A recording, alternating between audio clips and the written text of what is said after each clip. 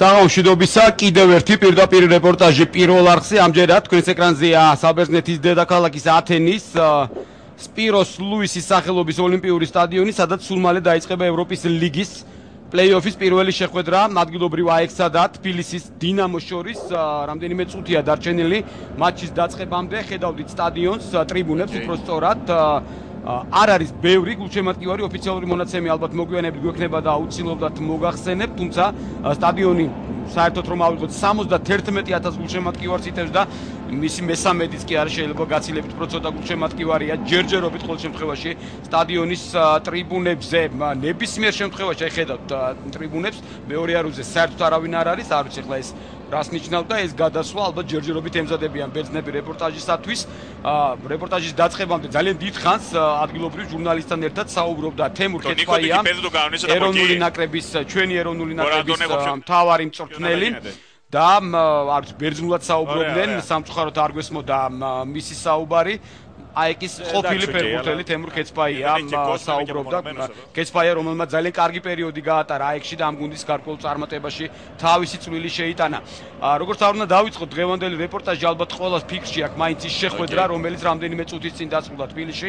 ბორის პაიჭაძის სახელობის ეროვნულ სტადიონზე რომელშიც საფეხბურთო კლუბმა ზესტაფონმა ფრედ 3-3 დაასრულა შეხვედრა ბრიუგესთან. ყველა ალბათ ვინც კი ახლა ადევნებ თვალყურს ამ შეხვედრას ნახეთ ეს მატჩი.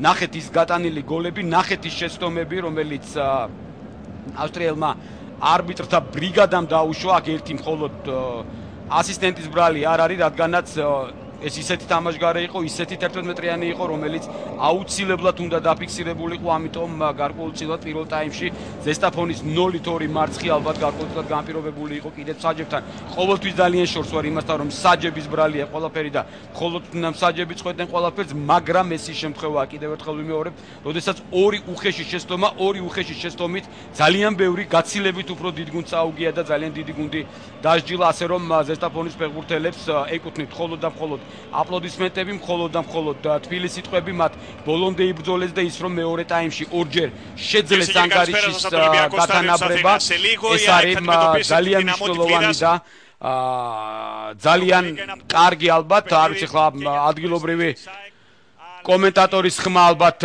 მოგვიანებით აღარ გვექნება, რადგანაც არ ვიცი ხა ბერძნულად პარალელურ რეჟიმში რეპორტაჟი წაყვანა ალბათ მაინც და მაინც სასიამოვნო ნამდვილად არ იქნება. გამოდიან უკვე გუნდები მოედანზე. თეთრი ფორმით ითამაშებს თბილისის დინამო, ყვითელი შავი ფორმით. მოედანზე იქნებიან მასმიძლები, აეკის ფეხბურთელები, აეკი ტრადიციული ფორმით თამაშობს.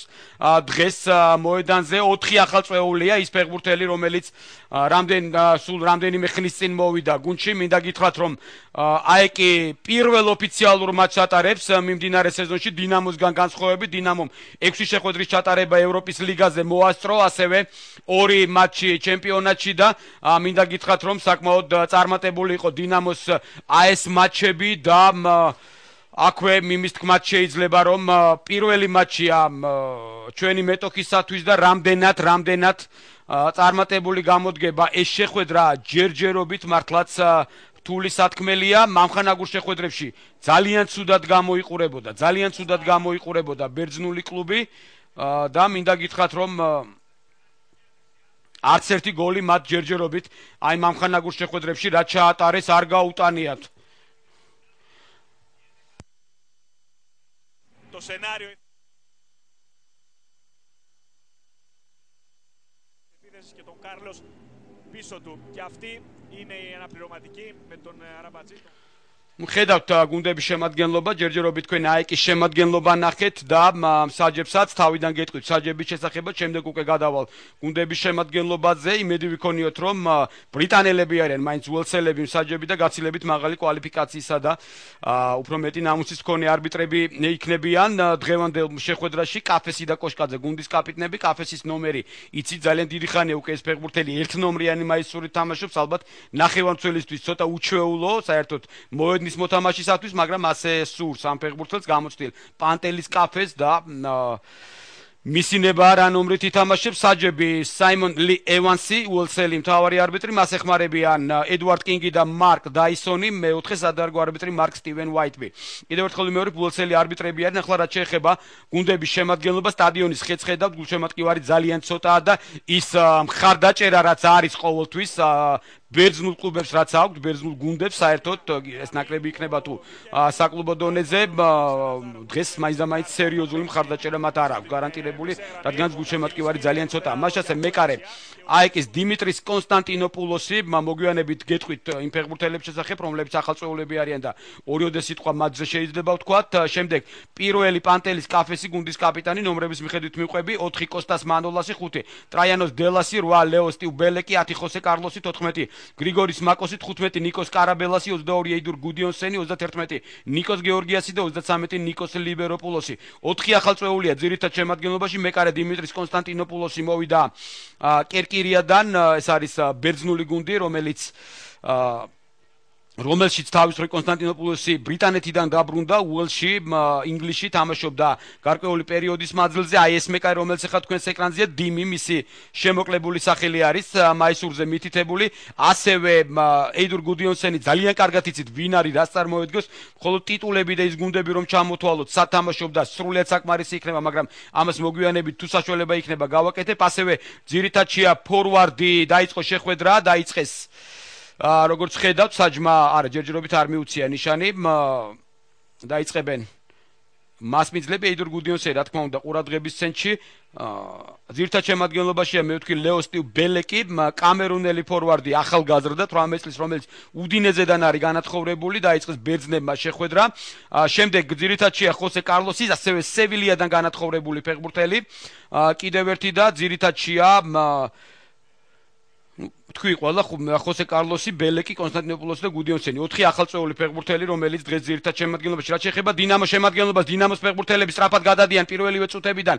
მარცხენა ფრთაზე კეთდება გადაცემა კახელიშვილი საჯარიმოს მიუახლოვდა, შეიძლება ჩაწოდება, ჩაწოდება გამო აქვთ ბერძენ ფეხბურთელებს შორიდან ძლიერი დარტყმა არაზუსტი. პირველი შეტევა თბილისის დინამოსი, რომლის შემადგენლობაც ასეთია: მეკარე გიორგი ლორია ნომერი 27, 3 გულვერ თომაშვილი, 7 ალექსანდრე კოშკაძე გუნდის კაპიტანი, 9 გიორგი კახელიშვილი 11 მიკელ ალვარო 18 დავით ოდიკაძე 19 ალბერტო იაგუე 23 გიორგი რეხვიაშვილი 24 ლევან კაკუბავო 28 ჩისკო მონიოსი 30 ნიკვა კვეკვესკირი ალეხანდრო გარსია კასანიასი ასია სრული სახელი და გვარი ალექს გარსიასი დინამოს მთავარი მწვრთნელის ორი ესპანელი სპეციალისტი მანუელ ხიმენესი აეკის მთავარი მწვრთნელი საკმაოდ ცნობილი სპეციალისტი თავის დროზე, კარგი ფეხბურთელი და კარგი მწვრთნელი საფათო იერიში უკვე თამაშგარეა.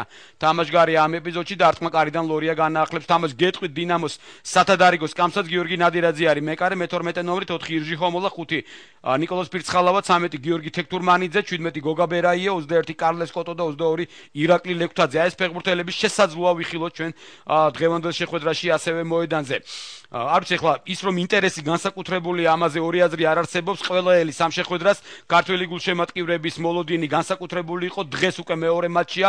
პირველი როგორც არ უნდა ვისაუბროთ კიდევ ერთხელ ვიტყვი წარმატებით დასრულდა რადგანაც ზესტაფონ მას შეძლო საკმაოდ კარგ ევროპულ კლუბთან ბრიუგესთან და საჯებთან ავსტრიელ არბიტრებთან გამკლავება და საბოლოო შეხვედრა 3-3 დაასრულა და განმეორებით შეხვედრაში რომელიც გამართება 25 აგვისტოს ფიქრობ ზესტაფონი იბრძოლებს ბოლომდე რადგანაც სხვა უბრალოდ შანსი არ აქვს ზესტაფონის ფეხბურთელებს და მაქსიმუმი უნდა გააკეთონ ფეხბურთელებმა იმედია მსაჯობა ნორმალური იქნება რაც ასევე აღსანიშნავია ზესტაფონისათვის ალბათ მოედანი კარგი იქნება ბრიუგეში და გუნდი ეცდება და ყველაფერს გააკეთებს კიდევ ერთხელ ვიმეორებ იმისათვის რომ ორი მატჩის ჯამში სწორედ საქართველოს ჩემპიონი გავიდეს ევროპის ლიგის ჯგუფურ ეტაპზე. ანალოგიური მიზანი აქვს თბილისის დინამოს, ათენის აეკი ძალიან გამოსტილი გუნდია, დიდი ხნის ისტორია აქვს, გუნდმა გასულ წელს აკასპარეზობა ევროპის ლიგაზე მოიპოვა გასულ წელს საბერძნეთის თასის მოპოვებით ფინალში დიდი ანგარიშით 3-0 დაამარცხეს ატრომიტოსი. გზაზე ფინალამდე პანათინაიკოსაც ძლიეს, მაგრამ იმ შემადგენლობიდან 4 ფეხბურთელია. შეცვლილი, აი დაახლოებით ალბათ იმ პოზიციებზე, რაზეც მე ვსაუბრობდი, სწორედ 4 ახალწეული, სწორედ იმ პოზიციების ფეხბურთელები არ არიან, მეკარე სახა, რომელიც დაბრუნდა სამშობლოში, არგენტინელი გახდა, სებასტიან სახა და რასინგში განაგრძობს თავის კარიერას, შემდეგ გუნდიდან გუნჩი არ არის პაპ ბუბა დიოპი სენეგალელი სახდენი კოშკაძე არის ძალიან კარგი შეტევა შეიძლება გამოვიდეს კოშკაძემ ცოტა დააყოვნა გადაცემის გაკეთება მარცხენა ფრთაზე უხდება საბოლოოდ პასის გაკეთება გიორგი კახელიშვილი არის შეიძლება ჩაწოდება ჩაწოდება მეკარე თამაშობს შვიდად ასევე არ არიან სკოკო და ბლანკო ესენი არიან არგენტინელი შემტევი ფეხბურთელები ასე რომ ბელეკიც და ხოსე კარლოსი ბელეკი ხოსე კარლოსი გუდიონსენი სწორედ ჩემს ვერ ჩამოთვლილი სამი ფეხბურთელის ნაცვლად არის მოედანზე და კიდევ ერთი მეკარე გარკვეული ფინანსური პრობლემები პრობლემები გააჩნდა აიქს და არც ერთ ფეხბურთელი არ შეუძენიათ სხვა გუნდიდან. თავისუფალი აგენტის სტატუსით მივიდა გუნდში გამოსტილი გუდიონსენი. აქ მეკარე უნდა გამოვიდეს დროულად ასეც არის ლორია იღებს ბურთს სტოკ სიტიდან გადავიდა გუდიონსენი. ასევე თავისუფალი აგენტი იყო კონსტანტინოპოლოსი მეკარე ხოსე კარლოსი ხუან კალა რომელიც თადარიქშია და ბელეკი განათხოვრების წესით არიან გუნჩი ერთწლიანი კონტრაქტები აქვს თან ფეხბურთელებს და ერთადერთი ვინც შეიძინეს ასევე თავისუფალი აგენტი იყო ეს იყო ჰელგასონი ისლანდიელი მცველი რომელიც საერთოდ არ არის განაცხადში ასე რომ ვერ ვიტყვი დანაკლისი უფრო სერიოზულია თუ შევსება აეკისა ამას ეს სეზონი ანახებს და ალბათ გარკვეულწილად დღევანდელი შეხვედრაც და კიდევ ერთი მატჩი რომელიც ერთი კვირის შემდეგ თბილისში ეროვნულ სტადიონზე გამართება. წინა სეზონში აეკი ვერ თამაშობდა განსაკუთრებულად ეროვნულ ჩემპიონატში კიდევ ერთხელ ვიმეორებ 23 ქულით ჩამორჩა პირველ ადგილოსან ოლიმპიაკოს საბერძნეთის ჩემპიონს და ასევე 10 ქულით მეორე ადგილოსან პანათინაიკოს. ეს ძალიან დიდი სხვაობა არის და ბერძნულ გრანდებთან ესეთი ჩამორჩენა აეკის განსაკუთრებულ მაღალ კლასზე ნამდვილად არ მეტყველებს ერთადერთი რაც ხიმენესმა მიაღწია ეს იყო კიდევ ერთხელ ვიმეორებ საბერძნეთის თასის მოპოვება. ჯარიმა არის აქ ჯარიმა შეიძლება ალბათ ყვითელი ბარათის ჩვენებას, თუმცა ჯერჯერობით უელსელი არბიტრი ამისაგან. თავსიკავის გუნდის კაპიტანმა კაფესმა დაარღვია თამაშის წესი წინა ეპიზოდში და პანტელის კაფესის ჯარიმის შემდეგ კოშკაძე მიიწევდა. ძალიან კარგად ხედავთ, შეინარჩუნა ბურთი დინამოს გამოსtildeმა კაპიტანმა და აშკარა აშკარა თამაშის წესის დარღვევა. ნახოთ ახლა თბილისის დინამოს შემადგენლობას რაც შეეხება დავანებოთ თავი აიქს, ჩვენ ჩვენი გვაინტერესებს, ბუნებრივია თუ გადავხედავ ტაიმ შემადგენლობას. ალბათ მოსალოდნელი იყო ჯაბაჯი გაური არის დისკვალიფიცირებული. შოთა კაშია და ლემა ხმალაძე დიდი ხანია ტრავმირებულნი არიან. რობერტინიოსაც მცირე ტრავმა აქვს და თბილისში დარჩა დანარჩენი ყველა ფეხბურთელი ალბათ მოსალოდნელი იყო ამ შემადგენლობის ნახვა. კარლეს კოტო თადარიქშია მე ტაქტიკურ მონახაზზე ამ ჯარიმის შემდეგ აუცილებლად გეტყვით. სავარაუდოზე რა თქმა უნდა ჯერ მხოლოდ მე-6 წუთია და ესე მტკიცება დანამდვილებით არ შეიძლება და თქმა კარიდან არა კუთხურია კუთხურია ნუ კუთხურამდე მოვასწრებ ალბათ მარჯვენა მცველის პოზიციაზე უდიკაძე თამაშობს მარცხნივ რეხვიაშვილი ცენტრში კაკუბავა და მასთან ერთად თომაშვილი ალვარო ახლად წეული დინამოს რომელიც გამოჩნდა თქვენს ეკრანზე და კვეკოსკირი ალბათ ცენტრში არიან განთავსებული მათზე ოდნავ წინ კოშკაძე ფლანგებზე კახელიშვილი ჩისკო და იაგუე გამოკვეთილი ფორვარდი არ ღალატობს თავის არჩეულ ტაქტიკას რაც კი მოვიდა დინამოს შემადგენლობაში ალექს გარსია და იმედია ამ შეხვედრაშიც გაამართლებს მის მიერ არჩეული ტაქტიკა. მეკარე კიდევ ერთხელ მეორებ დიმიტრის კონსტანტინოპულოსი გამოცდილი რომელსაც კარიერის ძირითადი ნაწილი სწორედ ბრიტანეთში ნოტინგემში კარდიფში და კოვენტრიში აქვს გატარებული ნაკრებშიც აქვს ნათამაშები, მაგრამ მხოლოდ და მხოლოდ ერთი შეხვედრა ნაკრების მეკარე ეს ფეხბურთელი ნამდვილად არ ითვლება. შეიყვანეს ბურთი თამაში. ჯერჯერობით არანაირი უპირატესობა მას მიძლებს ეს აქ რა ხდება? დელასი ყველაზე გამოცდილი და ყველაზე სახელიანი ფეხბურთელი ალბათ ორივე გუნდის შემადგენლობაში ტრაინოს დელასი ევროპის ჩემპიონია ეს ფეხბურთელი ყველასათვის კარგად არის ნაცნობი. მესამე დაბრუნდა ეკის შემადგენლობაში. რომაში თამაშობდა იმ პერიოდში როდესაც ევროპის ჩემპიონი გახდა. აქ შეეჯახა იაგუე. ბოდიშიც მოიხადა. ესპანელმა ფეხბურთელმა ხედავთ და ვფიქრობ არ ამგონი ესეთი რაღაცა. განსაკუთრებული გაეკეთებინოს მას რომ რისხვა დაატყდა მსაჯისა და მეტოკე გუნდის ფეხბურთელებისა ყვითელ ბარათს ალბათ მიიღებს მაინც იაგუე. ну ძალიან ბევრს დაობენ ახლა ფეხბურთელები. მიიღო ალბათ ყვითელი ბარათი ასეც არის ტრაიანოს დელასი კიდევ ერთხელ ვიმეორებ ევროპის ჩემპიონერ და იმ ევროპის ჩემპიონატზე მართლაც გამორჩეული იყო ვისაც ახსოვს ნახევარფინალში ჩეხეთთან გადამწყვეტი გოლის ავტორი. სწორედ ის გახლავთ სიმბოლურ ნაკრებშიც მოხდა იმ ჩემპიონატის შემდეგ.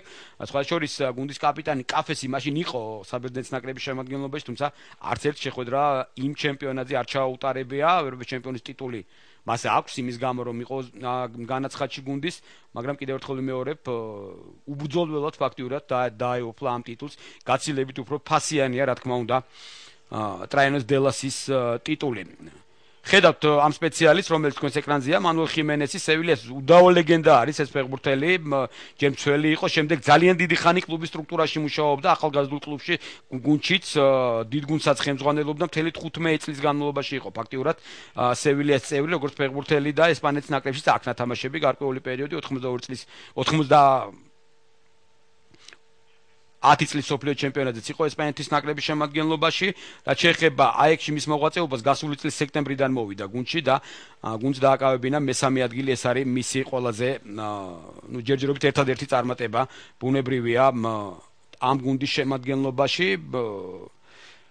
ტრადიცია არის ერთგვარი რომ აეკის მთავარი მწვრთნელები მუდმივად უცხოელები იყვნენ. დიდი ხანი იყო ზლატკო ჩაიკოვსკი ძალიან ცნობილი იუგოსლაველი სპეციალისტი პორტუგალიელი ფერნანდო სანტოში დუშან ბაიევიჩი ბოსნიელი სამჯერ სხვადასხვა პერიოდში იყო იმ პერიოდშიც როცა თემურ ქესპაია თამაშობდა ლორენ სერაფერერი ალბათ ბარსელონასა და ესპანეთის ფეხბურთის გულშემატკივრებმა იციან ამ სპეციალისტის შესახებ, ასე რომ ძალიან ბევრი კარგი სპეციალისტი მუშაობდა თავის დროზე აიქში. ხა ვერ ვიტყვით რომ აქ განსაკუთრებით მაღალი დონის ფეხბურთელები თამაშობდნენ, მაგრამ იყვნენ ფეხბურთელები, რომლებიც ამა თუ იმ პერიოდში გამორჩეულნი იყვნენ. აიკი ქართულ გულშემატკივარს არა მხოლოდ თემურ ქეცბაიას გამოახსოვს, არამედ ერთი ცუდი მოგონებაც არის.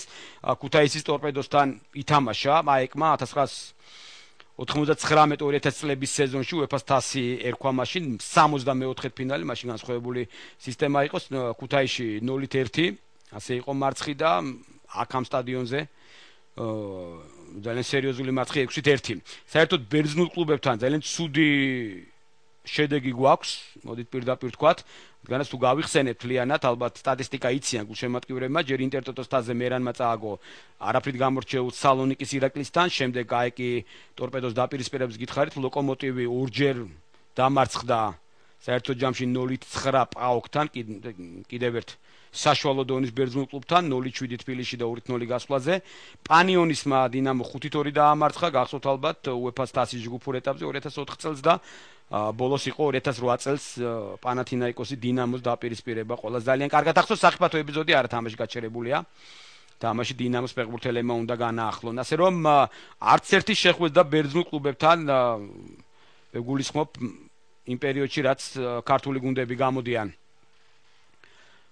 დამოუკიდებლად ევროტურნირებზე არ მოუგიათ ქართულ კლუბებს. ნუ მანამდე კი ყველა ძალიან კარგად ახსოვთ ალბათ 91 წლის თასების თასის მოპოვება საფუძველი სწორედ ბერძნულ კლუბთან კასტორიასთან მოგებამ ჩაუყარა. იმედია კიდევ ერთი აი ესეთი მოგება დინამოს მორიგ წარმატებას ჩაუყრის საფუძველს ეს უბრალოდ გამახსენდა და ვთქვი. ნუ ბევრ ფეგურცის გულშემატკივარს ალბათ ანალოგიური აზრი მოუვიდა ნამდვილად. გულშემატკივარი აეკის ცნობილი თავისი ხმაურით აქტიურობით გულშემატკივრობით იმდენი არ არის დღეს რაც იყო თუნდაც თასის ფინალის შეხვედრები ჩვენ წინა გადაცემაში შემოგთავაზეთ ატრომიტისთან და მაშინ მართლაც საოცარი ატმოსფერო იყო აქ ამ სტადიონზე და ალბათ თავისი გუნდის გამარჯვებაში გულშემატკივარმა გარკვეული წვლილი შეიტანა ამჯერად როგორ იქნება ვნახოთ. აქ საფათო ეპიზოდი თომაშვილი მეკარეს უბრუნეს ბურთს ლორია კარგად თამაშობს. კვეკოსკირი გახლავთ. ისევ თომაშვილი პასი არაზუსტი წინ არ შეიძლება აი ესეთ შეცდომების დაშვება თუმცა კარგად თამაშობს იკვეკოსკირი და შემდეგ უკვე ჯარიმა ჯარიმდებიან ბერძენი ფეხბურთელები არა არა ხელზე არ მოხვედრია ალვაროს ბურთი და მიკელ ალვარო აი ამ ეპიზოდში განმეორებით შეგვიძლია ჩვენ ვნახოთ ეს ეპიზოდი. ნიკოს ლიბეროპულოსი იყო ეს ფეხბურთელი რომელმაც საბოლოო დაარღვია თამაშის წესი. ნიკოს ლიბეროპულოსი ძალიან გამოცდილი ფეხბურთელია. 36 წლის არის ნაკრებში აქვს ნათამაშების 70 შეხვედრა. სხვადასხვა სადებუტო გოლი აქვს მას საქართველოსთან გატანილი. მის შესახებ ინფორმაციაში ეს ბერძნებს მითითებული აქვთ და სხვადასხვა საბერძნეთის საუკეთესო ფეხბურთელი გახდა სამჯერ. 2019 სამი სეზონის განმავლობაში და მის კლასზე ეს ყველაფერი მეტყველებს აშკარად. ეს კი ბელეკი არის, რომელიც ცდილობს შეუტიოს საკმაოდ ფიზიკურად ძლიერი ფეხბურთელი უდინეზედან განათხოვრების წესით თამაშობს აეკის შემადგენლობაში. ეს გუდიონსენია, მისი ცნობა ალბათ ძალიან მარტივი არის, თამაშის სტილიდან, გარეგნობიდან გამომდინარე.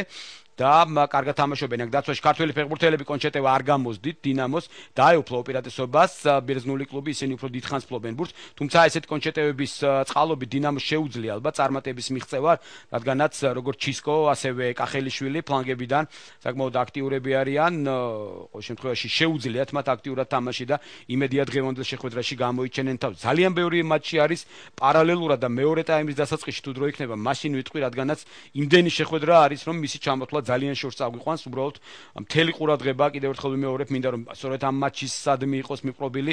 ძალიან მნიშვნელოვანი შეხვედრაა და თითეული ეპიზოდი თითეული დეტალი ალბათ ძალიან მნიშვნელოვანი და საინტერესოა დღევანდელი შეხვედრის. ყველანი ერთად გულშემატკივრობთ დინამოს სრულიად საქართველოს ალბათ და ძალიან გვინდა რომ დღეს დინამომ წარმატებით ითამაშოს ევროპის ლიგის პლეიოფის პირველ შეხვედრაში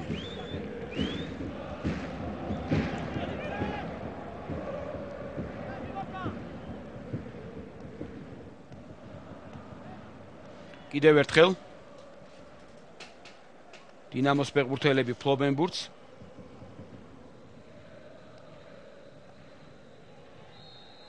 ჯარიმა არის ჯარიმა არის რა თქმა უნდა თამაშის წესი დაირღვა. კოსტას მანოლასი გახლავთ ამ ეპიზოდში დამნაშავე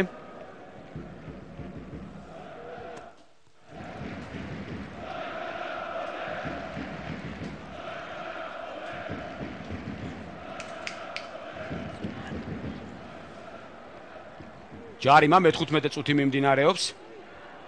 მარჯვენა ფრთიდან დინამოს ფეხბურთელები ასრულებენ ჯარიმას, ჩავიდნენ ცენტრალური მცველები, ნახოთ რა სიზარს აქვს ჩისკო. ჩაწოდება საჯარიმოში, ბძოლა ბურთისათვის რა ხდება? კარგად თამაშა კოსტას მანოლას მამ ეპიზოდში, მას მოხდა ბურთი, შემდეგ სწორედ მეორე მოძრაობით მან გამოიტანა კიდევ ერთი ჩაწოდება ჩისკოსი მცველებს გამოაქვს ბურთი და აქ უკვე მშვიდად უნდა ითამაშონ დინამოს მცველებმა, ასეც არის უკან ბრუნდება ბურთი და მეკარე გიორგი ლორია.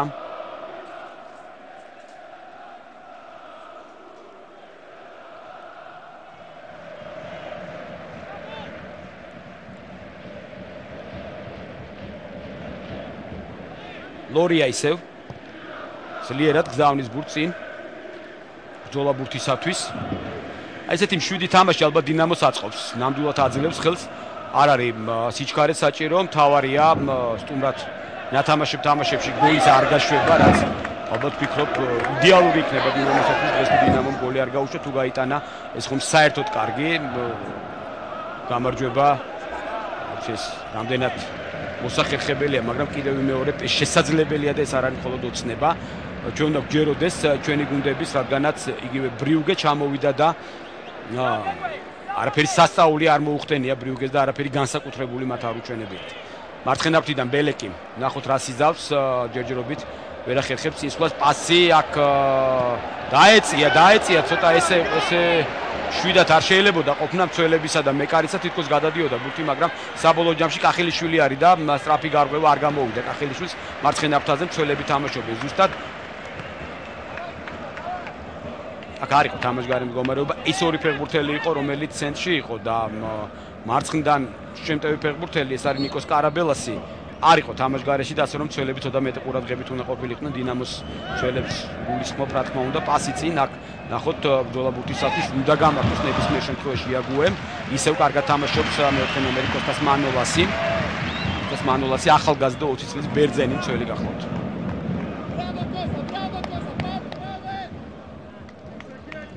კიდე ხვიაშვილია დინამოს ახალგაზრდა მცველი თავის ხრივ 23 წლის არის ხვიაშვილი შეიძლება შეიძლება კარა არ გამოვიდა რეხვიაშვილს. უძებ ბძოლა იყო საჭირო იქ აშკარა ჩანდა რომ საჯარი მას არ ნიშნავდა. მიუხედავად იმისა რომ დინამოს ფეხბურთელი წაიქცა ისევ თბილისელი ფეხბურთელები არიან ბურთით. მარჯვენა ფრთაზე გადააქვთ თამაში. აქ ჩისკო ეუფლება ბურთს. შემდეგ მარცხნილობდა გაეთამაშა მაგრამ არ გამოუვიდა ალვაროსთან. აუტ ბერძნები აწყვია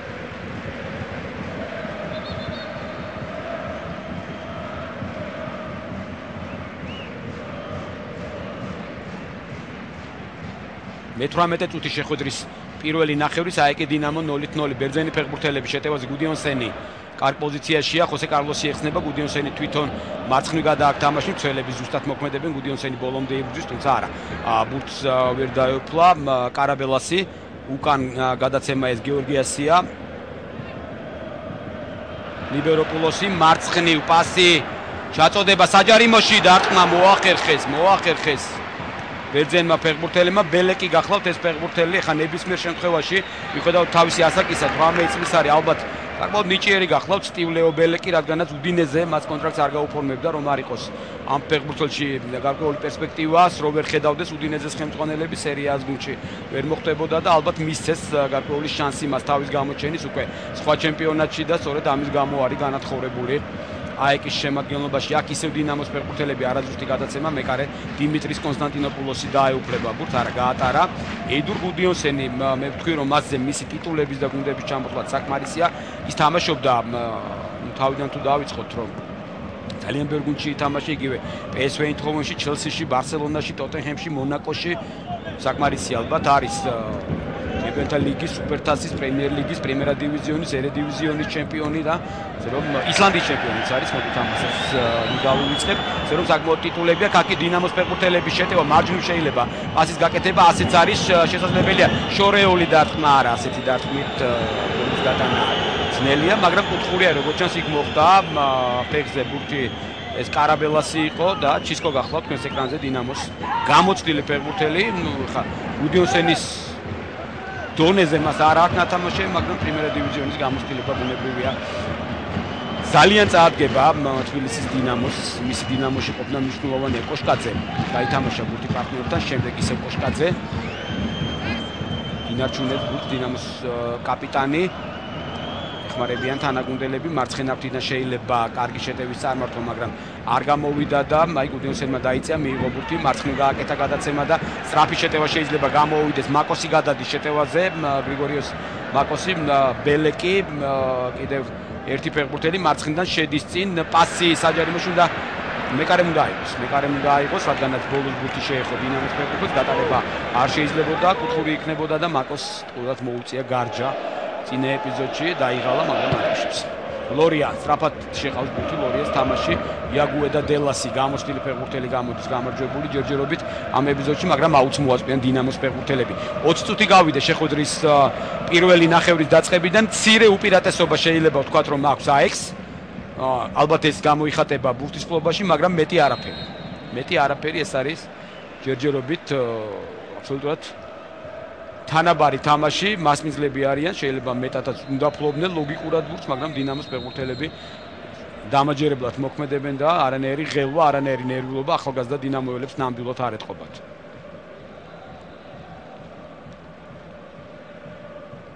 ისევ ტრაიანოს დელასი გამოსტილი ფეხბურთელი თქვენს ეკრანზე.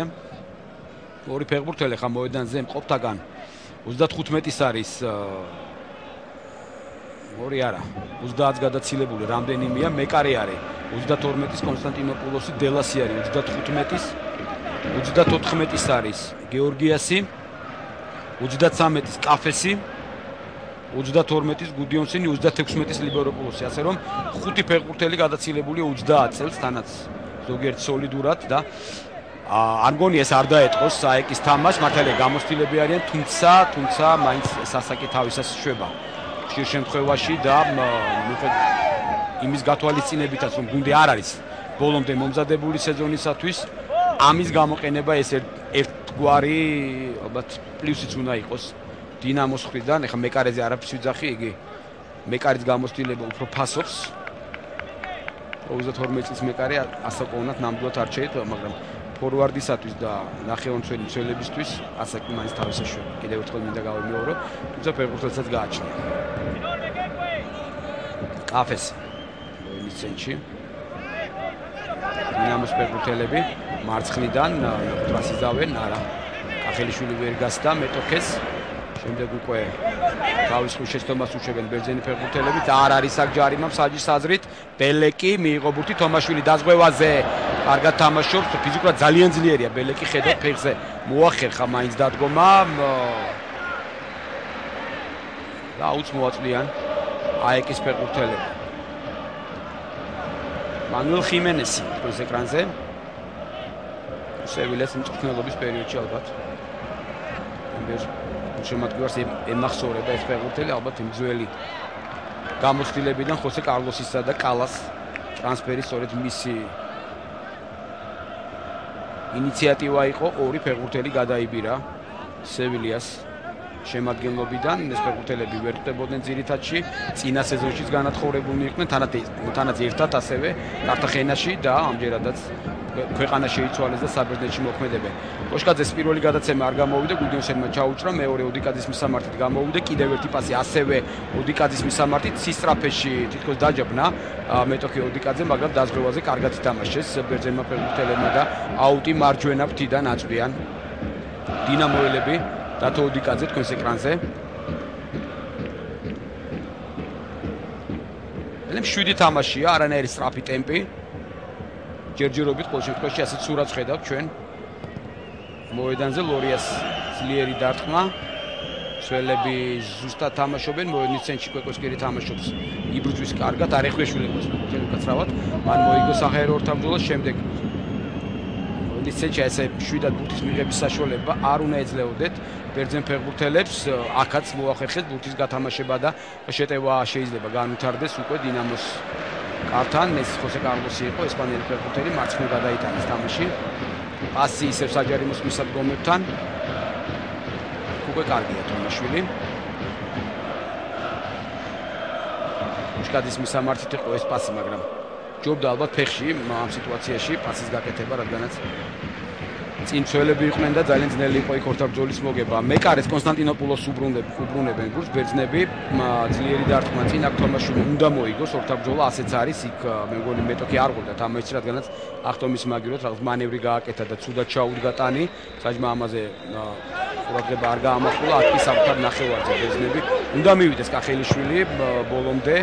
იბრძოლა კიდეც და ეს არის ალბათ ბოლომდე თამაში მოიტან შედეგს ყოველთვის მეკარემ ვერ გამოიტანა ბურთი დროულად ნორმალურად და აუტი რომელსაც აწვიან დინამოს ფეხბურთელები კახელიშვილი ისევ საოცარი ფიზიკური სიძლიერე ბელეკ დაეჯახა კახელიშვილს თვითონ დარჩა ფეხზე მეტოქე ჩვენი ფეხბურთელი კი წააქცია უდიონსე აი ქვე მცირე პრესინგი დინამოს შესრულებით. კარგია, კარგად ჩაჭრეს აქ დინამოელე მოდიკაძემ, კარგად ჩაჭრა ბურთი. შემდეგ გაგზელება არის საჭირო, გადაიტანა თამაში საპირისპირო ფლანგზე კახელიშვილი მიიღო ბურთი საჯარიმოს პისადგომებთან. ჩაწოდება მცველების ზუსტად მოქმედებენ გამოიტანეს ბურთი. აი კარგად თამაშა დათო ოდიკაძე მარჯვენა ფრთაზე დაინახა იქ რომ შეეძლო დაწეოდა ბურთს, ბოლომდე იბრძოლა და კარგი შეტევას წამოიწყეს დინამოს ფეხბურთელმა. პანტელის კაფესი იყო თქვენს ეკრანზე, რომელიც რაღაც გარკვეულ მითითებებს აძლევდა თავისი გუნდის ფეხბურთელებს. ხუან დე რამოსმა და მანუელ ხიმენესმა სწორედ უკაცრავად აა სწორედ ხუან დე რამოსის ნაცვლად მივიდა თავის დროზე სევილიაში მანუელ ხიმენესმაც აღნიშნა მატჩის წინა პრესკონფერენციაზე რომ დინამოს უპირატესობა არის ის რომ მათ ოფიციალური მატჩები აქვს ჩატარებული მისი გუნდისთვის კი პირველია. მე ამხან აგურ თამაშებზე ვისაუბრე აი ისა და გეტყვით რომ კარაბიუკსპორი რადი ხეტაფი ანორთოსისი იყვნენ. მათი მეტოქეები პირველი ორი 0-0 დასრულდა შემდეგ ხეტაფესთან 0-1 და ანორთოსისთან 0-3 აი ესეთ შედეგები არის დაფიქსირებული. გოლი არ გაუტანია ამ 4 ხამხანაგურ შეხვედრაში აექს ძნელია ყოველ კიდევ ერთხელ ვიმეორებ ამითი გუნდის მომზადებაზე ისაუბრო ამ ხანაგურ შეხვედრას. სხვა ხასიათის არის ოფიციალური აბსოლუტურად განსხვავებული მაგრამ კიდევ ერთხელ ვიმეორებ აი კი დღეს არ არ იმყოფება იდეალურ ფორმაში და ამის გამოყენება დინამოელებს მართებთ აუცილებლად. გასულ სეზონშიც აი კი ანალოგიური ეტაპიდან ჩაერთო ევროპის ლიგაზე, მაგრამ მაშინ ჯგუფში მოხვედრა მოახერხა შოტლანდიური დანდი იუნაიტედის ბარიერი გადალახა, ჯგუფში მოხვდა ზენიტთან, რუსულ კლუბთან, ანდერლეხტთან, ბელგიურთან და ჰაიდუკთან, ვერ გავიდა ჯგუფიდან, თუმცა ხორვატები ორივე შეხვედრაში სტუმრათაც და საკუთარ მოედანზეც დაამარცხა საფათო ეპიზოდი არა. ვერ მოახერხეს, ვერ მოახერხეს დარტყმის განხორციელება. ეხლა დინამოს ფეხბურთელებმა ჩისკო იყო ახლოს იმასთან, რომ გაეგზავნა ბურთი კარის მიმართულებით, არ გამოვიდა, მაგრამ არაუშავს კუთხური ჩვენია და მოაწვდიან კიდეც კუთხურიდან ბურთს დინამოს ფეხბურთელები. აი ხედავთ კახილიშვილის პასი აქ ერთი წაუკრა ფეხი ძალიან კარგად კოსტას მანულასმა თავიდან ეს არ ჩანდა. მაგრამ ჩისკო გავიდოდა დასარტყმელ პოზიციაზე დიმიტრის კონსტანტინოპულოსი მარჯვენა ფრთიდან კუთხურსაწვდიან დინამოს ფეხბურთელები 22 წუთი დაიწყო. დღევანდელი შეხვედრის პირველი ნახევრის მაღალი ჩაწოდება კარის მიმართულებით მიდიოდა. თითქოს ბურთი საკუთარ საჯარიმოში საკუთარ მოედანზე დამაჯერებლად ითამაშა მეკარემ და დაეუფლა ბურთს სტრაფად შეიყვანა ბურთი. თამაში აქ სამნი არიან ბერძენთა ფეხბურთელები. კედან არც ერთი არ იყო ბერძენი. ისლანდიელი, კამერუნელი და ესპანელი, კარგად თამაშობენ უკვე დინამოს ფეხბურთელები და სტრაფი კონტრიერიში თუ გამოვიდა. კოშკაზე არ ჩქავდა სტრაფად როდნის მეტოქის ნახევარზე გადასვლას. ჩისკო გახლავთ ეს ფეხბურთელი. კარგად შემოტრიალდა ჯარიმა არის რა თქმა უნდა და მე მგონი ხა ყვითელ ბარათს უნდა დაემსახუროს მაკოს მე ხა ხელი დაჭერა უკნიდან მაისურზე ეს არის ჩვეულებრივი რამ თანამედროვე ფეხბურთში და ყვითელი ბარათით ისჯება. ჯერჯერობით უელსელი ახლა აი ამ ეპიზოდზე გულისხმობ. რატომ არ უნდა მიეცა? საჭ ეს არის კითხვა. მისი მისამართით საიმონ ევანსის მისამართით? ასებით ლოგიკური კითხვა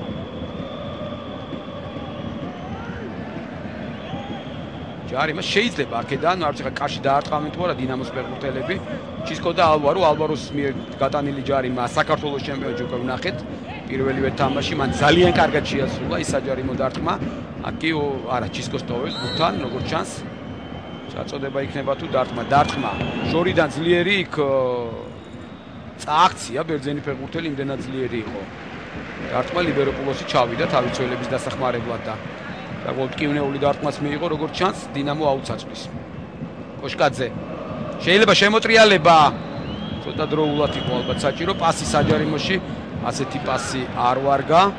გამოიტანეს აიკის ფეხბურთელმა ბურთი. ბელეკი ფიზიკური ორთაბრძოლა ვერავინ ვერ მოუგო ამ ფეხბურთელს.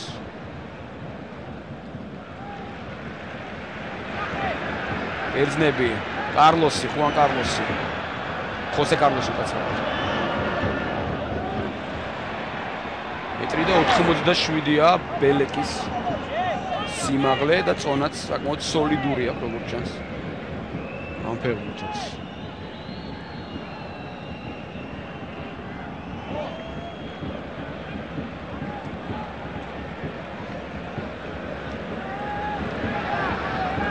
ბერძნები მარცხენა ფრთიდან ისევ კამერუნელი.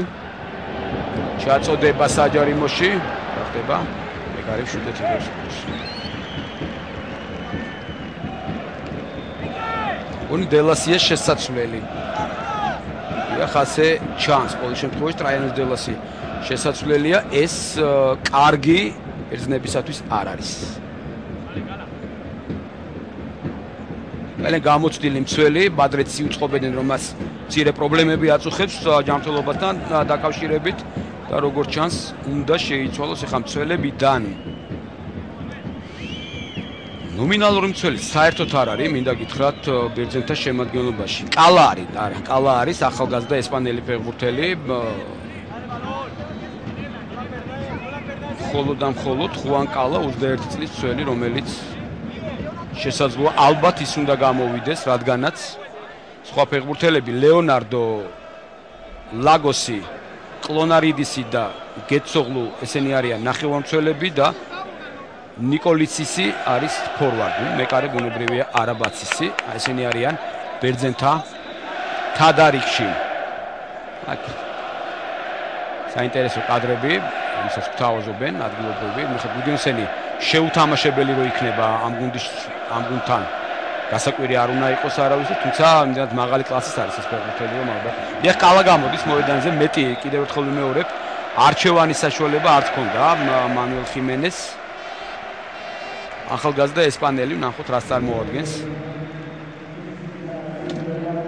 უან კალა 21 წლის სველი სერიოზულია როგორც ჩანს ტრავმა გამოსტილი ფეხბურთელი არის. მე არ მგონია რაიმე სხვა მიზეზი იყოს აქ გარდა ტრავმისა ისედაც ნათლად ჩანს ყველაფერი. 32 წუთი შეხვედრის პირველი ნახევრის 0-0 აეკი დინამო. ხოსე კარლოსი ლორიას უბრუნებს ბურთს. დინამოებმა გადააგდეს ბურთი აუძე და ნახოთ ახლა როგორ განვითარდება მოვლენები ამ წუთისათვის გაბრაზებულია გაცხარებულია არავისთვის გასაკვირი არ არის აში დარტყმები თითო-თითო აქვს ორივე გუნდს თუ სტატისტიკას მივხედავთ. კუთხურებს ხოლო დინამო აქვს სამი კუთხური აქვს მოწოდებული. მეტი კიდევ ერთხელ მივხვდით მნიშვნელოვანი არაფერი არ არის. თუ არ ჩავთვლით ასევე იაგუეს მიღებულ კუთელ ბარათს.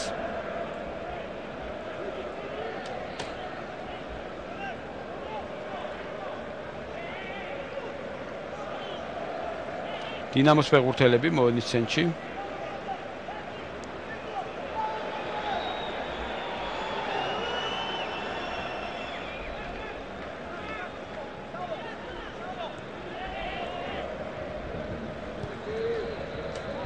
მარჯვენა ფრთაზე გადაიტანეს თამაში ვნახოთ აქედან როგორი თამაშებენ. დინამოელები პასი წინ შეიძლება სიტუაციის გამწვავება არა მოედნის ცენტრისკენ გადაინაცვლა ჩისკონ პასი საჯარიმოში. არისო თამაშგარი მდგომარეობა, მაგრამ კონსტანტინოპოლოსი დამაჯერებელია. ეს ზუსტად მოქმედებს. მამწუთისათვის ახლა ალბათ ბერძნებისათვის ძალიან სამწუხაროა ზოგადად. ამ ქვეყნის ფეხბურთის გულშემატკივრთაც რომ პანათინაიკოსი ქვეყნის ერთ-ერთი საუკეთესო გუნდი 3-0 მარცხდება თელავივში მაკაბისთან. ჩვენთვის ამას განსაკუთრებული მნიშვნელობა არ აქვს. ჯარიმა. მცირე დახმარება იქვე აღმოუჩინეს, რა თქმა უნდა. ტრაიანოს დელას.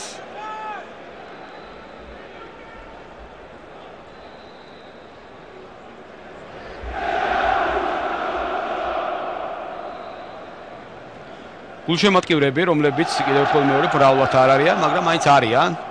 აა დღეს დავენთი კლუბის საგულშემატკივროდ მე დარწმუნებული ვარ იქნებიან ქართველები ჯერჯერობით კადრი არ უჩვენებიათ, მაგრამ საბრძნეთში არიან ქართველი საქართველოს მოქალაქეები, ქართველები და ალბათ ისინი ამ შანსს ხელიდან არ გაუშვებენ რომ უკომაგონ ტრიბუნიდან უშუალოდ თბილისის დინამოს. კალა ახლა შემოსული ფეხბურთელი ჩაერთო შეტევაში, მაგრამ მის მიერ დარტყმული ბურთი ზუსტი არ აღმოჩნდა, სუსტი იყო საკმაოდ და მეკარე მოახერხა მოგერება გულბერ თომაშვილი ოდიკაძის მისამართით აკეთებს გადაცემას მარჯვენა ფრთაზე მიიწევს ოდიკაძე. ველი კარგი გადაცემა წინ, თუმცა რომ გაეჩერებინა ალვაროს ბურთი, ძალიან კარგი ეპიზოდი იქნებოდა. ოთხნიარიან შეტევაზე აიკის ფეხბურთელები.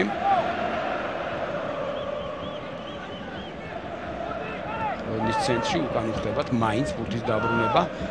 ჩემთვის ცოტა უცნაურია აიკი ისეთი დიდი ძალით არ გადადის მეტოქს ნახევარზე არ ვიცი ხეს დავალება არის მანუელ ხიმენესის თუ დინამოს ფეხბურთელები თამაშობენ იმდენად ჭიდროთ მოედის ცენტრში რომ დიდი ძალით გადასვლას ვერ ახერხებენ ეს თითქოს შემტევი 4-ეულის გარდა მაინც და მაინც აქტიურად შეტევაში ჩართოს არავინ არ ცდილობს ლორია კარგად თამაშობს შემდეგ კაკუბავო შვიდათ უნდა გამოიტან ბურთი იქ ერთ-ერთი დინამოიც აქცეულემ საჯიაჩერებს თვითონ თამაშს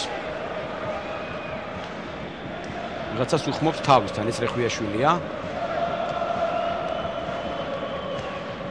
გუდიონსენმა იქ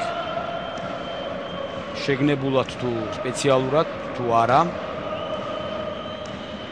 ხელი მოაწყა სახეში ქართულ ფეხბურთელს აქ ხედავთ. ბელეკის დარტყმა და ლორიას კარგი თამაში.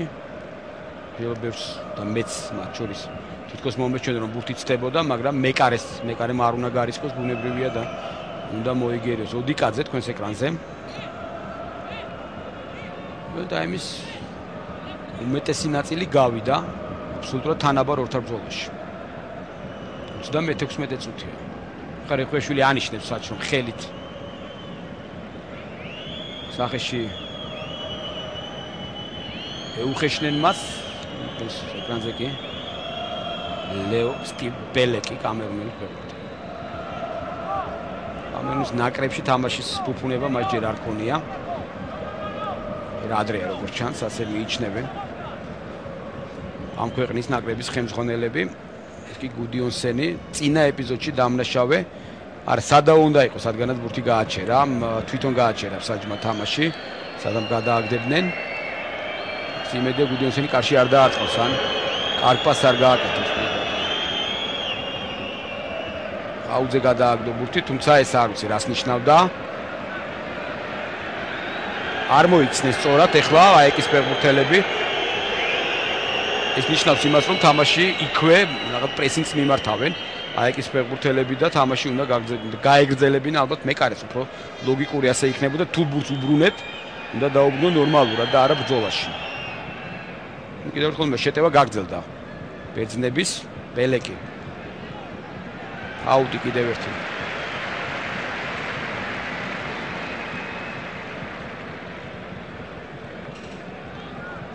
აუცაწვდიან მარცხენა ფრთიდან.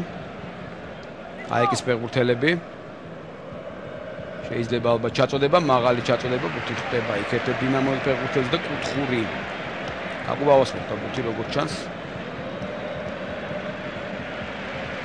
18 წუთი შეხვედრის პირველი ნახევრის აი ხა უკვე დიდი ძალით გადავიდა მაიკი შეტევაზე ხოსე კარლოსი ესპანელი ფეხბურთელი მოაწვის.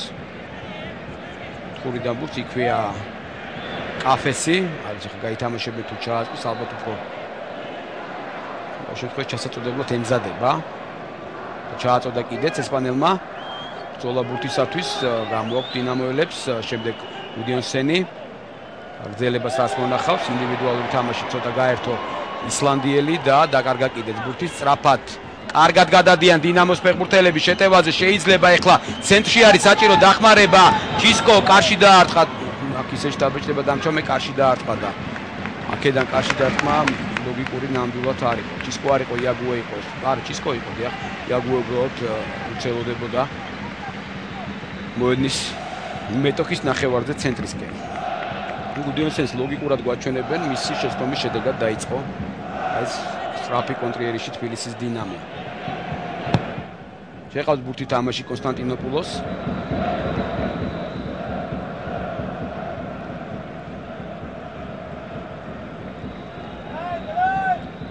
საფთარ ნახევარზე ფლობენ ბერძნები უკან გადაცემა. მეკარეს ისე კონსტანტინოპოლოსი ამჯერადაც. სუდი გამოტანა მოედნის საკუთარი საჯარიმოდან და აუტი. დინამოს ფეხბურთელები მოასწრიან აუტიდან ბურთს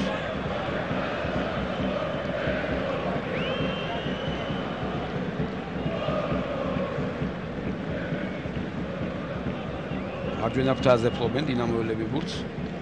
არ არის ჯარიმა არა მსაჯი არც თანამსაჯი და არც თავარი არბიტრი არაფერს არ ნიშნავს კიდევ ერთი აუტი ამჯერადაც დინამომ უნდა აი ეს ტვენა ალბათ გასაგებია ადგილობრივი უშემოთკივართა მხრიდან ვერ გადადიან შეტევაზე ბერძნები. ბელეკი თქვენს ეკრანზე ყველაზე მეტად ცდილობს ალბათ თავისი ფიზიკური ძალის გამოყენებით, მაგრამ ჯერჯერობით არაფერი არ გამოსდის. ოშკაძე. აი ხლა იყო ოშკაძე დასავად. ოხიაშვილი ეხვიაშვილი ძალიან კარგად გასდა ორ ფეხბურთელს. მიიწევს თვითონ დაარტყა. ალბათ გაგზელება უკეთესი შეიძლება და ამ ეპიზოდის არადა ის საწყისი ეპიზოდის ძალიან კარგი გამოვიდა ორ ფეხბურთელს აუარა გვერდი ეხვიაშვილმა მართალია დიდი ძალით არ იყო დინამო წინ რამდენიმე ფეხბურთელი იყო მხოლოდ მაგრამ შეიძლებოდა ალბათ თუნდაც მარცხნივ ყოფი ფეხბურთელისთვის გადაცემის გაკეთება. მისგან მარცხნივ იყო ორი ფეხბურთელი, ყველაზე უკეთესი ალბათ სწორედ ამ პლანზე იყო თამაშის გაგრძელება. საჭირო ხიმენესი ჩაფიქრებულია, მანუელ ხიმენესი. 51 წუთი აიკი დინამო 0-0.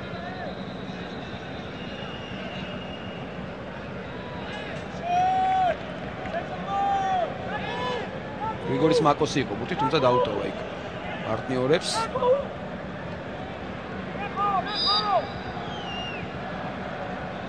ხოსე კარლოსია, რომელიც აწვდის ბურთს საჯარიმოში, თამაშობენ დინამოელებს შორიდან. ძალიან ძლიერი დარტყმა გადავა ბურთი. თუმცა არა უცნაური ტრაექტორით აუძე გადავიდა ბურთი მხოლოდ და არა არ იქნება დარტყმა აკარიდან, ეს არის უსტას მანოლასი იყო თქვენს ეკრანზე. ლორია არგის გარისკვა წინ ძლიერად რა თქმა უნდა. დინამოელი წაიქცა, მაგრამ საჯის სასტვენი დუმს. კარაბელასი გახლავთ ეს ფეხბურთელი, რომელიც მიიჩნევდა რომ მხოლოდ მხოლოდ დინამოელი წაიქცა თავისი ინიციატივით.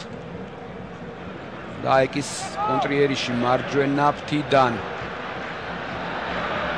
ნე დიდხანს ფლობს ახლა ბუჩ მაკოსი. პასი შეიძლება ჩაწოდება ლორიამ უნდა ითამაშოს ერთმანეთს ახლა ხელს უშლიან. აკუბავა და ლორია იყო თუ არ ვსები დიახასია, მაგრამ საბოლოოდ ლორია უკრება ბურთს. ჯერჯერობით არ ჩქარობს მოედნის მოედანზე შეყვანას, იქვე გადაცემა მშვიდად არის თამაში საჭირო კაკუბავა მიიწევს წინ. ძალიან კარგი გადაცემა შემდეგ არა. აქ მოძრაობა ან გადაცემა რომ ყოფილიყო შეიძლება და კარგად სიტუაციის გამოყენება მარჯვნივ ოდიკაძე ალბარო გადაცემაც არაზუსტია ისევ დინამოელები კოკოსკერი იყო ეს ფეხბურთელი მარჯვნივ დიკაძე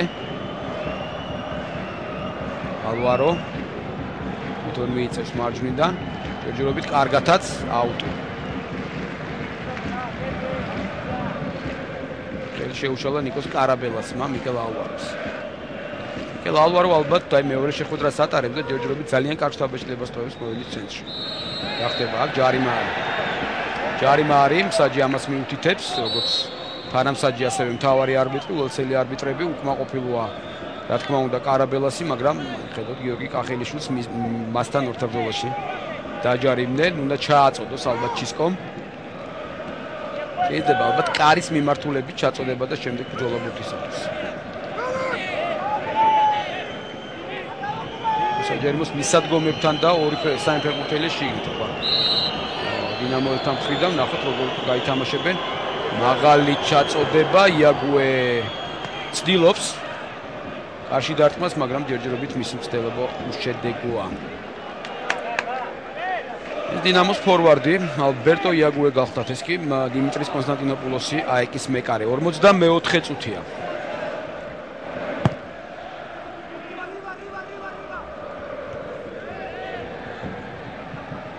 დინამოელები კახელიშვილი ბურთით ასი წინ ძალიან კარგი შეტევა შეიძლება გამოვიდეს. თუ მიუსწრო ეხლა აკიაგუე მარა. ძველი კალა იყო პირველი ბურთთან არა და ძალიან კარგ სიტუაციაში აღმოჩნდებოდა ეხლა დინამოს ფორვარდი. ბურთზე რომ მიესწრო ალვარო. შეიძლება გარისკვა დარტყმა არა გადაცემა ჩაიფიქრა. ალვარო ეხლა ხედავთ რასეუნება აქ ჩისკო. ძალიან კარგად გამოჩნდა ისიც ხოვდა ბურთს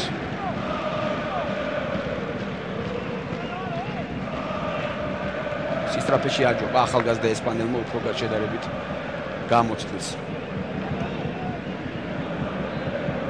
საჯი დაამატებს ალბათ გარკვეულ დროს რადგანაც იყო ტრავმა. შეხვედრის პირველ ნახევარში და ამ დროის კომპენსირებას მოახდენს დღევანდელი შეხვედრის უელსელი არბიტრი.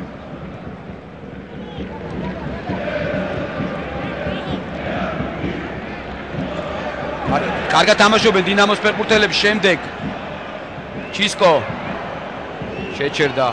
ვერგარის კატ ვერ წავიდა კატზე მოსატყუებლად აკი კოშკაძის გადაცემა კი არა მე მგონი იაგუე მითამაშე. თუნდაც იქ რაღაც ფეხი დაუწდა ასი ახლა საჯარიმოს მისადგომებთან დინამოს ფეხბურთელები გამოაქვთ. სველებს ალბათ დაწევა ჯობდა ბუთის მოედანზე ესეთი პასი არ იყო მაინც და მაინც კარგი. თამაშობენ. საჯი ანიშნებს რომ არ არის თამაშგარე მდგომარეობა. გუდიოსენი პასი საჯარიმოში აქ ოდიკაზე ფრთხილად უნდა იყოს არა გაატარებს ბურთს. ძალიან კარგად გუდიოსენის გადაცემა არ იყო კარგი ამ ეპიზოდში. ამას ვერც ლიბეროპულოსი რომელიც თქვენს ეკრანზე ვერ ყოფილი ფეხბურთელი ვერ დაეწეოდა. ნიკო წავიდა საჯის მე 3 წუთი დაამატა დიახ მე ვთქვი რომ დაამატებდა. გარკვეულ პერიოდ გარკვეულ დროს რადგანაც იყო გაჩერება მეორე იარუსი ფაქტიურად ფლიანად სარიელია სტადიონისა რომელზეც არაერთხელ გვინახავს ჩვენს ანშლაგი ჩემპიონთა ლიგის შეხვედრებია სანაკრებო თუ განსაკუთრებით ბერძნული დერბები მაშინ არის საოცარი ატმოსფერო მართლაც აი ამ სტადიონზე სპიროს ლუისის სახელობის სტადიონზე მართლაც კარგი არენა არის. ათენის ოლიმპიურ თამაშებისთვის გარემონტდა არაშენებულა მანამდე იყო აშენებული ეცნები არიან შეტევაზე მარჯვენა ფრთიდან არმა გადააგდო კუთხურზე არა ესე მოშორებაც არ შეიძლება არაფრით ვუქის თუმცა დინამოელები კარგად თამაშობენ მაინც გამოდიან სიტუაციიდან. კიდევ ერთი შეცდომა შეტევაზე ეცნები არიან. იმენი კაცი უნდა მოატყოს ამ წელმა კოსტას მანოლასმა ახლა ისევ. თითქოს ერთი ფეხბურთელი იგებს ორთაბგულს, მაგრამ მეორე არ ეხმარება. ბურთი შეინარჩუნებს ბერძნებმა დიდხანს უკვე ჩვენს ნახევარზე. ბელეკი. მარჯვნივ გადაცემა. ისევ ბელეკი. კიდევ ერთი პასი საჯარიმოში აქ არავინ არ არის. რაიმე ვერ მიჭდება ყოველ შემთხვევაში გუც აუტი. დინამოს ფეხბურთელები ცოტა უნდა დამშვიდნენ, უნდა ვაივნენ ბოლო 2 წუთის განმავლობაში თომაშვილი თქვენს ეკრანზე. ოდიკაძე კი აუტიდან განაახლებს თამაშს.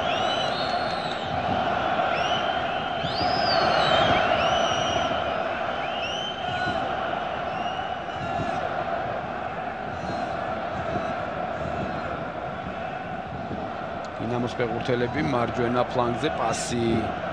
ეს ფუძის გადაგდება არის წინ არანაირი გადაცემა ეს არისო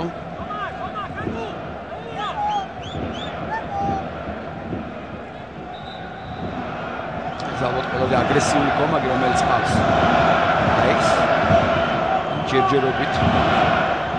ხმაური როგორც ბერძნულ სტადიონებზე ახოლმე დღევანდელ შეხვედრაში არ შენიშნება აქ მეკარემ. უნდა ითამაშოს 7-7 შეიძლება ყოველწუთს რაღაცა პრობლემა იყოს, რაღაცა ფეხბურთელები ზედმეტად გააქტიურდნენ მეტოქის, ამიტომ სიმშვიდი შენარჩუნება საჭიროა. ჯარიმა. მოასწრებენ თუ არა დინამოელები ამ ჯარიმის შესრულებას წამებია დარჩენილი. პირველი ტაიმის დასრულებამდე, რომელიც საერთოდ ჯამში აბსოლუტურად თანაბარ ბრძოლაში წარიმართა და 0-0 არის ჯერჯერობით, აი კი დინამო სწორედ ამ შეხვედრას ვადევნებ თვალყურს. 0-0.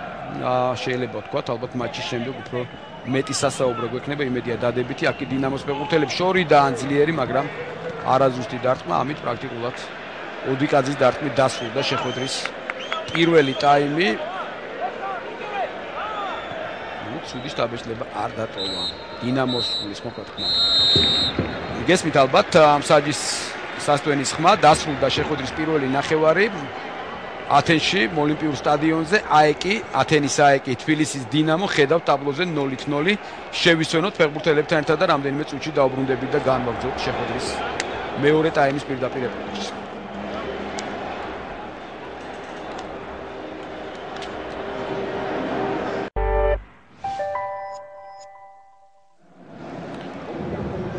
გრძელდება ჩვენი პირდაპირ რეპორტაჟი ათენიდან საკმაოდ საინტერესო ხედი იყო ეს კი სპიროს ლუისის სახელობის სტადიონი სადაც იმართება დღევანდელი შეხვედრა ევროპის ლიგის პლეიოფის პირველი შეხვედრა სტატისტიკას ხედავთ კარში დარტყმები.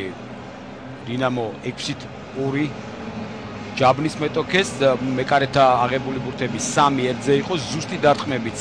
ასევე დინამოს სასარგებლოდ 3-1-ზე ჯარიმები პირიქით 8ჯერ დაარქვეს აიგის ფეხბურთელებმა 3ჯერ დინამოელებმა და კუთხურებიც სამი ერთზე იყო, ასე რომ აი განმეორებით არის ახლა ეს ეპიზოდები ალბათ თუ რა მოხდა შეხვედრის პირველ ნახევარში მივადევნოთ თვალყური ჩვენ ამ მომენტებსაც პირველ მეორე თანაბარი თამაში იყო, რომელშიც თუ სტატისტიკას მივადევნოთ თვალყურს შედარებით უკეთესად დინამოს ფეხბურთელები გამოიყურებოდნენ ამ მატჩებში ამ ფრაგმენტების ფონზე. მინდა გითხრათ იმ შედეგების შესახებ, რომელიც უკვე დაფიქსირდა და რომელიც ფიქსირდება. დავიწყებ თავიდან ეკრანასი ჰაპოელი 1-0, ლეგია მოსკოვის სპარტაკი 2-2, ანანეძემ შეცვლაზე ითამაშა, ლოკომოტივი ტრნავა 2-0, ვასლუი სპარტა პრაღა 2-0, შალკემ წააგო ჰელსინკში ჰიქთან 2-0, ლოვეჩი დინამო კიევი 1-2, ალესუნდი აზიალკმარი 2-1, აუსტრია გაზმეთანი 3-1, ხუბუტია თადარიქში იყო ომონია ზალსბურგი 2-1, ბორსკლა პოლტავა, დინამო ბუქარესტი 2-1, მაკაბი თელავივი პანათინაიკოსი 3-0, სტიაუა CSKA 2-0, თუნის ტოქსიტი 0-1, ბეშიქტაში ბოლოწუძე ამარცხებს ალანია 3-0, ბურსასპორი ანდერლეხტი 1-2 ნორციელანდის სპორტინგი 0-0 დასრულდა, პაოკი კარპატი სრულდება ასევე 2-0, სლაშკი ვროცლავი რაპიდი ბუქარესტი 1-3, აქაც ბოლოწუთია, ბოლოწუთია ცრუენაზვეს და რენი 1-1, ლიეჟი სტანდარტი უგებს ჰელსინბოქს 1-0, ფულემი დნიპრო 3-0, ჰანოვერი სევილია 2-1, მეტალისტი სოშო 0-0, ეს აქ მეორე ტაიმები მიმდინარეობს. პირველი ტაიმების შემდეგ ჰარცი ტოტეჰემი 0-3, მარიბორი რეინჯერსი 0-1, ნაციონალი ბირმინგემი 0-0, ლუსემბურგი აეკი ლარნაკა პროცესის გუნდი. აი ქართველი გულშემატკივრები ხედავთ მათ თქვენს ეკრანზე დღევანდელ შეხვედრაში შესვენებაზე სხვა კადრებიც იყო არიან ქართველების სტადიონზე როგორც უკვე თქვი და ეს ძალიან კარგიც არის. შემდეგ რუსემბურგი ლარნაკა თქვი 0-0-ია, სლოვანი ბრატისლავა რომა 0-0, შამროკი პარტიზანი 0-1, ბილბაო ტრაბზონი 0-0, ლაციო რაბოტნიჩკი 2-0, სელტიკი სიონი 0-0, რიდი პსვ 0-0, ორი მატჩი არა ჯერჯერობით დაწყებული, მადრიდს ატლეტიკო გიმარაეში და ბრაგა იანგ ბოისი, ასე რომ ძალიან ბევრი შეხვედრა არის და ბევრი შედეგი უკვე ცნობილიც არის. ჩვენთვის მნიშვნელოვანი ერთი მატჩი დასრულდა, ყოველას ძალიან კარგად მოიხსენება ზესტაფონი ბრიუგე 3-3. გული დაუწყდა ყოველას ნამდვილად იმაში, რომ რომ არა მსაჯების შეცდომები შეიძლებოდა ალბათ გაცილებით უკეთესი შედეგი დაფიქსირებულიყო ჩვენთვის ამ შეხვედრაში. თუმცა განმეორებითი მატჩი არის წინ და ჩვენ იმედი გვაქვს, რომ ზესტაფონი კიდევ უფრო უკეთესად ითამაშებს. სტუმრად ქართველი კომაგები კიდევ ერთი კიდევ ერთხელ საქართველოს დროშები აქვს აქ და მე არ ამგონი ეს ბერძნები იყვნენ რა თქმა უნდა ჯერჯერობით უნდა ჭიანურდება მატჩის დაწყება ხალხი ხედავთ უკვე გუნდები გამოვიდნენ მოედანზე და სულ მალე განახდება კიდე ჩვენი დღევანდელი შეხვედრა.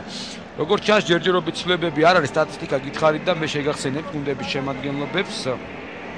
დინამოს რაც შეეხება მეკარე ლორია შემდეგ სამი თომაშვილი 7 კოშკაძე 9 კახელიშვილი 11 ალვარო, 18 ოდიკადე, 19 იაგუე, 23 რეხვიაშვილი, 24 კაკუბავო, 28 ჩისკო, 30 კოკოსკილი, თადარიგში არიან მე-12 ნომრით მეკარე გიორგი ნადირაძე, ირჟი ხომოლა მე-4 ნომერი, 5 ნიკოლოზ ფირცხალავა, 13 გიორგი თექთურმანიძე, 17 გოგა ბერაი, 21 კარლეს კოტო, 22 ირაკლი ლექთაძე, ალეხანდრო ალექს გარსია გუნდის მთავარი მწვრთნელი. რაც შეეხება მასპინძლებს,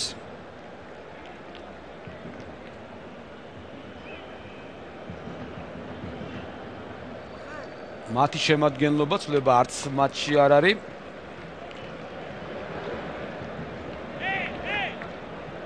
მათი მთავარი მწვრთნელი თქვენს ეკრანზე მანუელ ხიმენესი მეკარე დიმიტრის კონსტანტინოპულოსი 23 პირველი კაფესი გუნდის კაპიტანი 4 მანოლასი 5 დელასი 8 ბელეკი 10 კარლოსი 14 მაკოსი 15 კარაბელასი 22 გუდიოსენი 31 გეორგიასი 33 ლიბეროპულოსი პირველ ტაიმში იყო ცლება მე ვთქვი რომ შესვენებაზე არ მომხდარა ცვლილება. პირველ ტაიმში დელასის ნაწილად მოედანზე მე-6 ნომერი კალა გამოვიდა მსაჯებსაც შეგახსენებ. საიმონ ლიევანსი მთავარი მსაჯი დღევანდელ დღევანდელ შეხვედრაში გახლავთ აქ კიდევ ერთი უხეში თამაში ბერძნების მხრიდან და მე მგონი ყვითელი ბარათსაც ჩვენებს უსარჯი. ეს არის გრიგორის მაკოსი. საჯმა ძალიან კარგად აუხსნა ალბათ იქ თუ რა დანაშაული მიუძღოდა და მე რამდენი დაარღვია თამაშის წესი ასეა თუ ისე მეორე ყვითელი ბარათი დღევანდელ შეხვედრაში მაკოსმა მიიღო ბერძენთან ნახევარმცველმა ყვითელი ბარათი რაც შეეხება დინამოს მხრიდან მეორე წუთზე ალბერტ იაგუე მიიღო ყვითელი ბარათი 32 წუთზე იქნა ელასის შესწვლილი ტრავმის გამო და ის ნაცვლად კალა გამოვიდა. ახლა კი მთელი ყურადღება შეხვედრისადმი 56 წუთი არის ჯერჯერობით ერთი წუთიც არ იყო გასული პირველ ტაიმ მეორე ტაიმის დაწყებიდან რაც ეს ჯარიმა დაფიქსირდა ბერძენი ფეხბურთელები ფლობენ ბურთს ჯერჯერობით საკუთარ ნახევარზე ალბათ ეცდებიან გადასვლას გუდიონსენმა მიიღო შეტევის მარცხენა ფლანგზე უკან მოუხდა პასის გაკეთება და აი ახლა მხოლოდ და მხოლოდ წინ გადაცემა აქტიურად მოქმედებენ დაცვაში დინამოს ფეხბურთელები თომაშვილი ჯარიმდება ამ სიტუაციაში.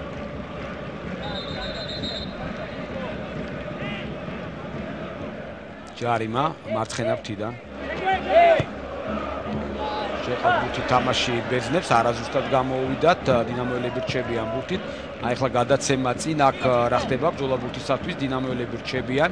ჩისკო გახლავთ ბუთით ფეხბურთელს შორის მოექცა სამცხარო წაიცა და დაკარგა ბუთი ბელეკი კამერუნელი ფეხბურთელი ხოსე კარლოსი. პასი თამაშგარი თამაშგარი ამ ეპიზოდში კარგად ჩანდა გუდინსენი ბათალია თვითონ არ ეთახმება მსაჯის გადაწყვეტილებას, მაგრამ იყო თამაშგარემ მდგომარეობა. კი, რა თქმა უნდა, აქ ძალიან კარგად ჩანს.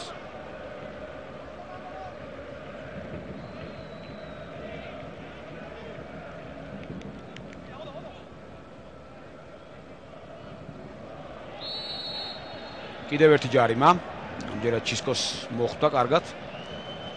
მედია წამოდგება და თამასის კალარი ახალგაზრდა ესპანელი ფეხბურთელი ალბათ განაგზობს შეულებრივ თამაშს ტრავმები ნამდვილად არ უნდა ეხლა თბილისის დინამოს კიდევ იმეორებ ისაც ორი ფეხბურთელი ტრავმირებული ყავს დინამოს არა ეს იყო კიდევ ახალგაზრდა ფეხბურთელი ოღონდ არა ესპანელი არამედ ბერძენი მანოლასი მანიუხეშა ამ ეპიზოდში ყველაფერი ნახეთ გამეორებით. თქვენს ეკრანზე ჯიღაური არის დისკვალიფიცირებული და ტრავმირებულნი არიან დინამოს შემადგენლობაში შოთა კაშია და ლევან ხმალაძე ასევე რობერტინიოც ასე რომ მეტი ტრავმა ფეხბურთელს ნამდვილად არჩევდება ძალიან კარგი ჟესტები რასაც ჟესტებს იმეორებენ.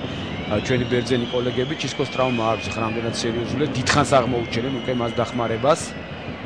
თუ შეცდომელი შეიქნა კიდევ ერთხელ მეორებ მეკარე ნადირაძე, შემდეგ ხომოლა, ფიცხალავა, თექთურმანიძე, ბერაია, კოტო ლექტაძე ეს ფეხბურთელები არიან თადარიქში დინამოს შემადგენლობაში, ჩისკოს გასვლის შემთხვევაში, ალბათ უფრო წინახაზის ფეხბურთელები თუ შემოვლენ თექთურმანიძე, ბერაია, კოტო ლექტაძე, მე არ მგონია ფიცხალავა და ხომოლა იყოს.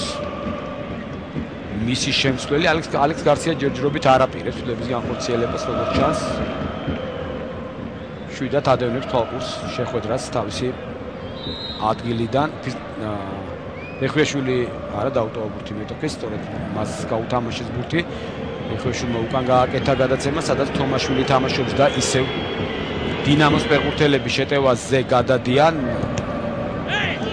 მოლოდნა ბურთი რჩება დინამოელებს არაზუსტი გადაცემა.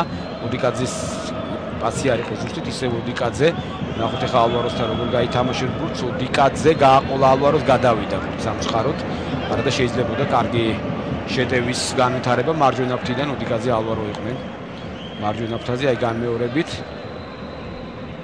აშკარა არის აქ თანაც თავარი მსაჯის ასისტენტი ძალიან ახლოს იყო ეპიზოდთან და ეს ყველაფერი ზუსტად დაინახა.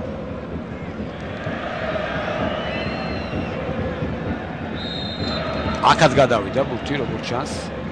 და აქაც ბერძნებმა უნდა მოაწოდონ აუტიდან აქ კახილიშვილს გაიქცა ბურთი ბოილის ფარგლებს გარედან ნიკოს გეორგიას სიმოაწვის აუტიდან ბურთი. ტემპი ისევ დაბალია, ასეთი ტემპი აწყობს დინამოს, რადგანაც სტუმრად თამაშობენ თბილისელი ფეხბურთელები, ბუნებრივია, უფრო მეტი სიმშვიდის შენარჩუნება საჭირო.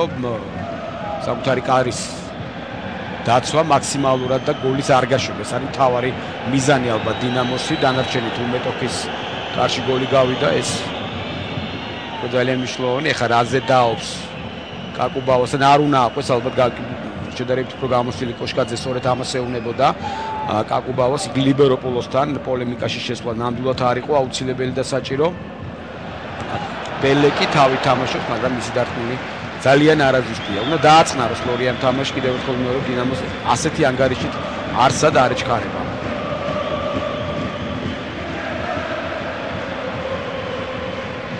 ეს ეპიზოდი არ მგონი ამდენ განმეორებას იმსახურებდეს, თუმცა მეტი არც არაფერია ბერძენთა შესრულები და ალბათ. ამას მაინც გაიმეორებენ. დინამოს ფეხბურთელები რჩებიან ბურთით. დიკაძე გადაცემა მარჯვენა ფლანგზე ნახოთ ჩისკო რა სიტყვას არა შველები თამაშობენ ან კარგად კიდევ ერთხელ მანულასმა ითამაშა. კარგად? და ჯარიმდება მეტოქის ნახევარზე ჩისკო ჩისკოს წესით კარგად უნდა იცნობდეს. მანუელ ხიმენესი ესპანურ ფეხბურთში ორივე საკუთარ დიდი პერიოდი აქვს გატარებული ბელეკი. ცდილობს აქტიურად თამაშოს თომაშვილი ის ძინავდე გუდიოსენი კარგად თამაშობენ აქ დინამოშვილი მაგრამ ბელეკი რჩება. ბურთით ისევ აეკის ფეხბურთელები დროზე არის ალბათ აქ ჩედების ჩაშლა საჭირო. არაზუსტი გადაცემა ზუსტად მოქმედებენ დინამოელები და შეიძლება ალბათ უკვე ბურთის გამოტანა. საჭიროც არის ასე არა ორი ფეხბურთელი იყო გახსნილი იქ და გადაცემა მაინც და მაინც კარგი არის ყურეფეშვილის ახლა რაც გააკეთა ისე ვაიკის ფეხბურთელები აკუთხური იქნება თუ ლორია მარა იყო ბურთი და ლორია ძალიან კარგად თამაშობს არ გადასულა ბურთი. მიუხედავად იმისა რომ ბელეკი ანიშნებდა თანამშრომლობა დატოვებული პარტნიორები ჩისკო მარჯვენა ფრთაზე იღებს ბურთს დაელოდა იქ თანაგუნდელებს უდიკაძის გადაუბრუნდა ბურთი. დათოლიკაძე ფლობს გადაიტანა ცენტრისკენ ესეთი რისკიანი გადაცემა მაინც და მაინც სასურველი არ არის შემდეგ პასი წინ ბრძოლა ბურთისათვის კალა გამოდის გამარჯვებული თომაშვილი. შვიდათ.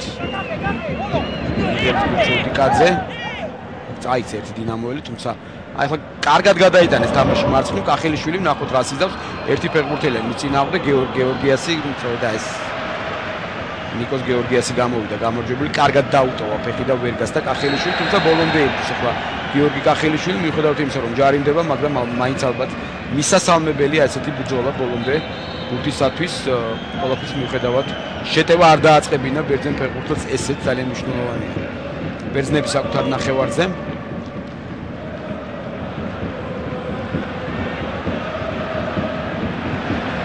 დაეწევა ამბობს.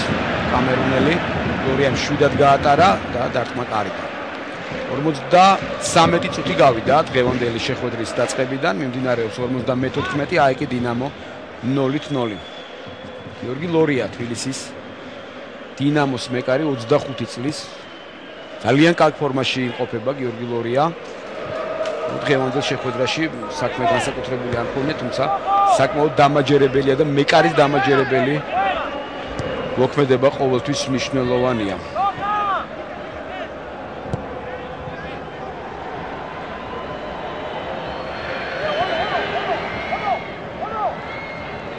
აქ ჩაწოდება მეკარე ითამაშებს ალბათ ასეც არის. კონსტანტინოპოლოსი შვიდათ ეუფლება ბურთს ძლიერი დარტყმით გზავნის წინ. ხახტება დინამოს ფეხბურთელები ალბარო გუნდის კაპიტანი მის წინააღმდეგ. პასი მარჯვნივ დაეწევა ამ ბურთს დინამოს 28 ნომერი ჩისკო დაეწია მაგრამ იაგუეხი უკაცრავად და მისი გადაცემა არ ყომა და მაინც კარგი მცვილება მზადდება ლეონარდო ემზადება მოედანზე გამოსასვლელად. ეს ბრაზილიელია როგორც მიხვდით ალბათ თქვენ თვითონაც 24 წლის ნახევარმცველის პაშორის ბრაზილიის ასაკობრივ ნაკრებებში აქვს ნათამაშები და ოლიმპიკის ჩემპიონიც არის. 20 წლამდელთა შორის მინდა გითხრათ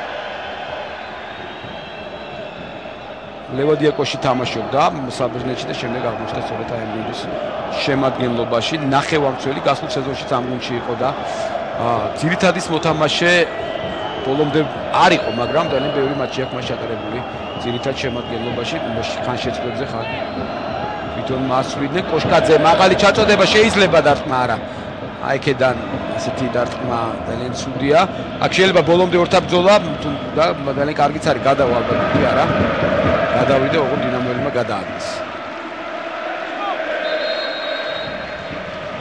შრილება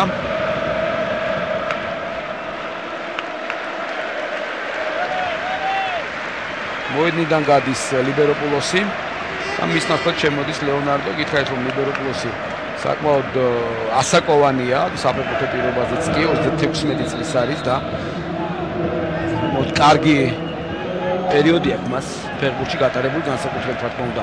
ბერძნულ ფერბურგში პანათინაიკოში გახდა იგი ცნობილი ფერბურთელი სამჯერ კიდევ ერთხელ მეორე საუკეთესო ფერბურთელი იყო თავის ქვეყნის და ორჯერ ბომბარდიერი საბერძნეთის ჩემპიონატში ნათამაშები ჰქონდა. ბუნდესლიგაშიც აინტრახტში და წინა სეზონში იგი 7 გოლი დაეხმარა თავის გუნდს. წარმატებაში დღევანდელ შეხვედრაში განსაკუთრებული შტაბეშლება ნამდვილად ვერ დატოვა ნახოთ რა სიზავს მისი შემცვლელი იმედია არც ის დატოვებს. კარგ შტაბეშტილებას მეკარე და ადრეულად გამოვიდა, მე მგონი აი კოლორია კარგად თამაშობს. არ გამოვიდა, მაინც და მაინც კარგი დარტყმა გუდიონსეს, მაგრამ საბოლოო ჯამში მაინც ზუსტი იყო დინამოს მეკარე და ამაჯერებლად მოქმედებდა ამ ეპიზოდში. შედარებით უფრო მეთხანს ფლობენ ახლა ბურთს. აეკის ფეხბურთელები არ შეიძლება ალბათ აი ესე განცობის დათმობა ბოლომდე აქ ახლა შემოსული ლეონარდო აქტიურობა სწორედ. საჯი სასტენი იყო ხდება ჯერობით შეიძლება და განმეორებას ხდება ისევ ორია თამაშობს კარგად ამ ეპიზოდში მარ შეიძლება ეხა კოშკაძე რასაც აკეთებს. საკუთარ საჯარიმოსთან დაშვება შეცდომის და უკეთ შეეძლოთ ბერძნებს უკეთ თამაში. ყურადღებით თამაშია საჭირო. ესეთი გამოცდილი როგორც ეხლა კოშკაძე ასეთ სიტუაციაში ალბათ შეცდომას არ უნდა უშევს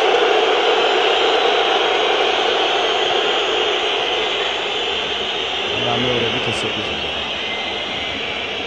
დაარტყა გიორგიოს მარკოსმა შორი მანძილიდან მოთი ასთან მიზანს.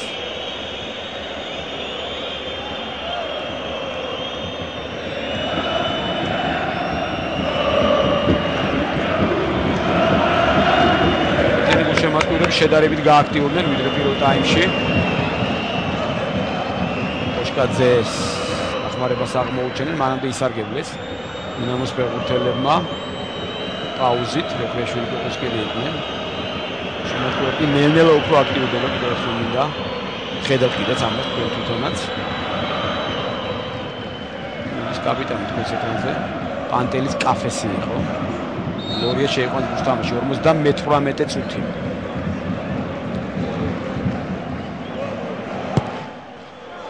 ოფიციალური მატჩი აიქს არ აქვს დინამო და დინამოს განმეორებით დინამოსთან განმეორებით შეხვედრამდე რადგანაც საბერძნეთის ჩემპიონატი ჯერჯერობით არიწება 27 აგვისტოს იწყება საბერძნეთის ახალი ჩემპიონატი აიქს რაც შეეხება 28 აგვისტოს მართავს თავის პირველ შეხვედრას საკუთარ მოედანზე ვოლოსის ოლიმპიაკოსთან ასე რომ სათამაშო პრაქტიკა მაინც მიღებული საფოსხო მატჩის წინ არ ექნება ჩვენს მეტოქეს. რაც კიდევ ერთხელ მეორე ფეს დინამოსათვის ცუდი არ არის.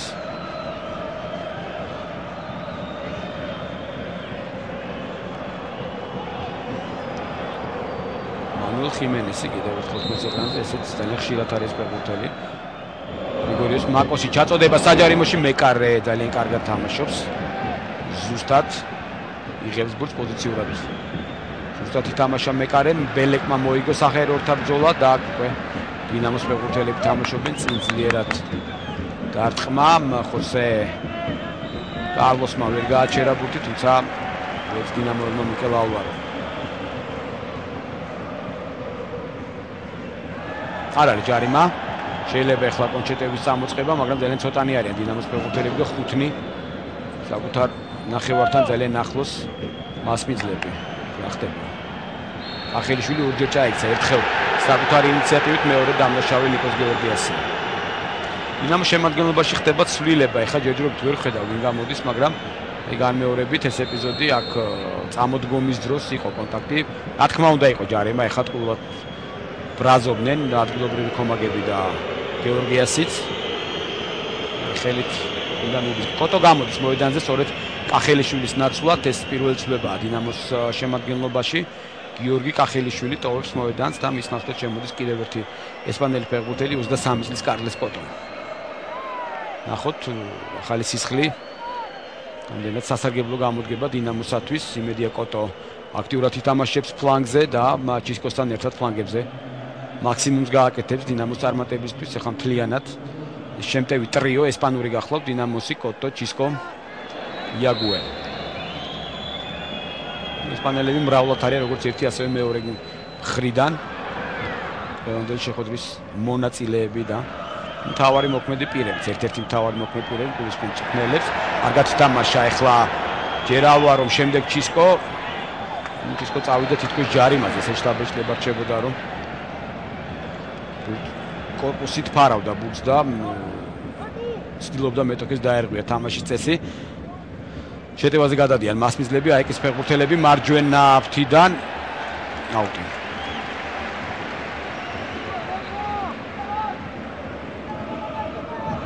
ხოსე კარლოსი. ჩადება თქოს არანაირი სიტუაცია არ იყო საპრობლემო მაგრამ ვერ გამოიტანა ბუთი ნორმალურად. დინამოს ფეხბურთელმა და ერთ-ერთი ყველაზე სახიფათო დარტყმა რაც კი შეასრულეს დღეს. ბერძენმა ფეხბურთელებმა. კარაბელასმა დაარტყა, მაი განმეორებით ხედავთ. მოჭრილი დარტყმით მეკარისაგან შორეულ კუთხეში ზავნი და ბურც არა უკაცრავად ხოსე კარლოსი იყო ეს ესპანელი ფეხბურთელი რომელმაც შეასრულა ეს დარტყმა.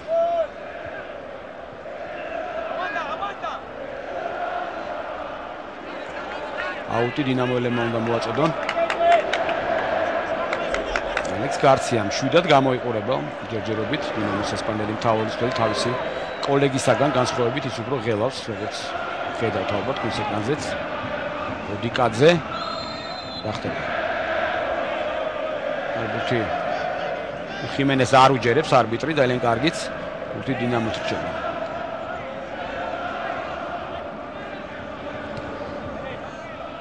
კარაბელასი ხედავდი ძალიან აქტიურად მეუბნებოდა იაგუეს დინამოს ფეხბურთელები ისევ ისევ ჩისკო ჯარიმდება ამჯერად უკვე კაფესთან დაარღვია საჯის აზრით მან თამაშის წესი დაბალია ტემპი, დაბალი 0-0 ჯერჯერობით 63 წუთი. მეკარე კონსტანტინოპოლოსი ძლიერი დარტყმით ზავნის წინ. თომაშვილი თამაშობს თავით კარგად, შემდეგ ისევ არისო ალვაროს გადაცემა მაინც და მაინც კარგი კოკოსკირის მისამართით უკან. აი ეს ფეხბურთელები რჩებიან ბურთით.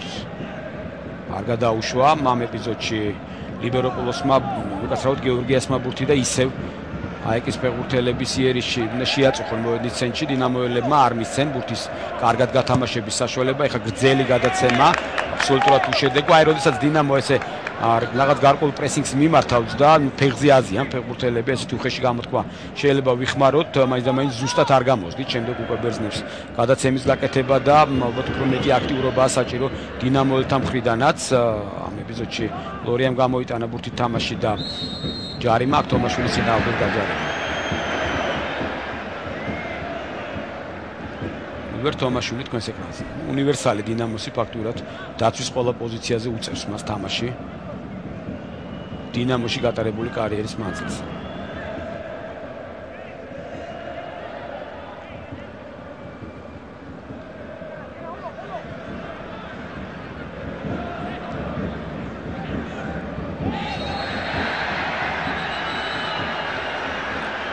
ხდება აქ. საჭი ძალიან საინტერესო არიგებს ყვითელ ბარათებს, ყვითელ ბარათების დარიგების დროს მაქსიმალურად უხსნის ფეხბურთელებს თუ რა არის მათი დანაშაული. ჩისკომ მიიღო ყვითელი ბარათი.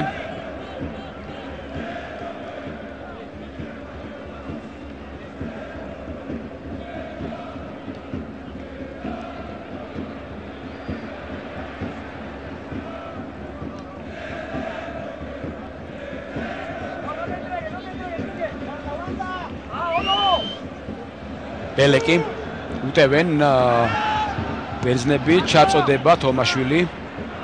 არასწორად გამოიტანა თომაშვილი ახლა ბურთი თუმცა მაინც კარგია რომ საჯარიმო და გამოიტანა და თამაშს განაახლებენ. განაახლეს მასპინძლებმა. მეკარე ესეც არის ლორიამ შვიდათ იღებს ბურთს. სწრაფად შეიყვანა ბურთი თამაში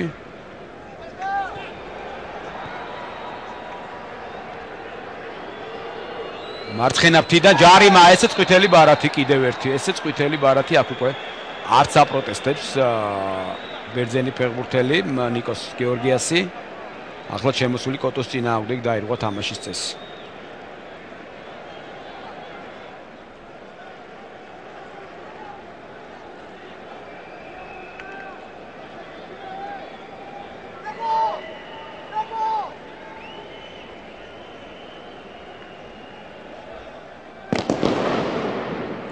შეიძლება ამ ჯარიმის გამოყენება ვნახოთ ეხა როგორ შეასრულებენ საჯარიმოს დინამოს ფეხბურთელები. ალბათ ჩაწოდება იქნება ბუნებრივია აქ და შემდეგ ბძოლა ბურთისათვის. მაღალი ჩაწოდება მეკარე. მეკარე გამოდის და იღებს შვიდად ბურთს. ბძოლა ფაქტიურად არ შედგა. დინამოელთა მხრიდან ბურთისათვის აკი შეცდომა დაცვაში. უდიკაძე იყო გადასული ცენტრისაკენ მარჯვენა მცველი სწორედ მან გამოასწორა. ახლა თომაშვილი ახლა ბრუნდებოდა მხოლოდ და მხოლოდ შეტევიდან. და კარგად ითამაშა დინამოს მარჯვენა მცველმა. აკი ბოლომდე არის. აქ არ არის ჯარიმა. შემდეგ შემდეგ უკვე ვეღარ შეძლეს დინამოს ფეხბურთელებმა ბურთის შენარჩუნება. თარი ნახევრიდან წამოიწყეს ბერძნებმა. მორიგიერუში იერიში თომაშვილი. ხელი ხელი იყო თქმა უნდა. და მე მგონი ფეხითაც სუდად წავიდა და კიდევ ერთი ყვითელი ბარათი დღევანდელ შეხვედრაში თითქოს არანაირი უხეშ თამაში არ იყო პირველ ტაიმში, მაგრამ აქ კოსტას მანოლოსმა უხეშად ითამაშა და მიიღო კიდეც სრულიად სამართლიანადაც ყვითელი ბარათი, აი გამეორებთ ვერასწრებდა აქ ბურთს. თომაშვილი პირველი იყო და მაგ აქ აქ მეტი შეიძლება და აშკარად დაუტოვა ფეხი, დაუტოვა ფეხი. ჩაათხა კიდევაც თომაშვილს ახლა ესეთი მიამიტური გამომეტყველებით იყურება ახალგაზრდა ბერძენი მცველი მაგრამ აშკარად იუხეშა ამ ეპიზოდში. თომაშვილის წინააღმდეგ ხუთი ხუთი ყვითელი ბარათია უკვე დღევანდელ შეხვედრაში. ორი დინამოელებს სამი ბერძნებს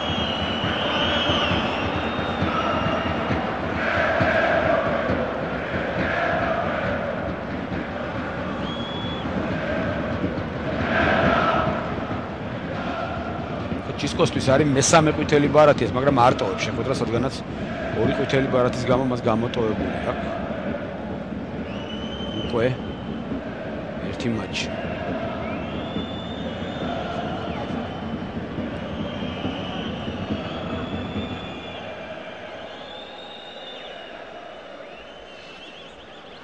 სამოცდა მე-9 წუთი დაიწყო 69 0-0 ჯერჯერობით აიკი დინამო კიდევ ერთხელ აი ეს ფეხბურთელი რომელიც დამნაშავე იყო წინა ეპიზოდში.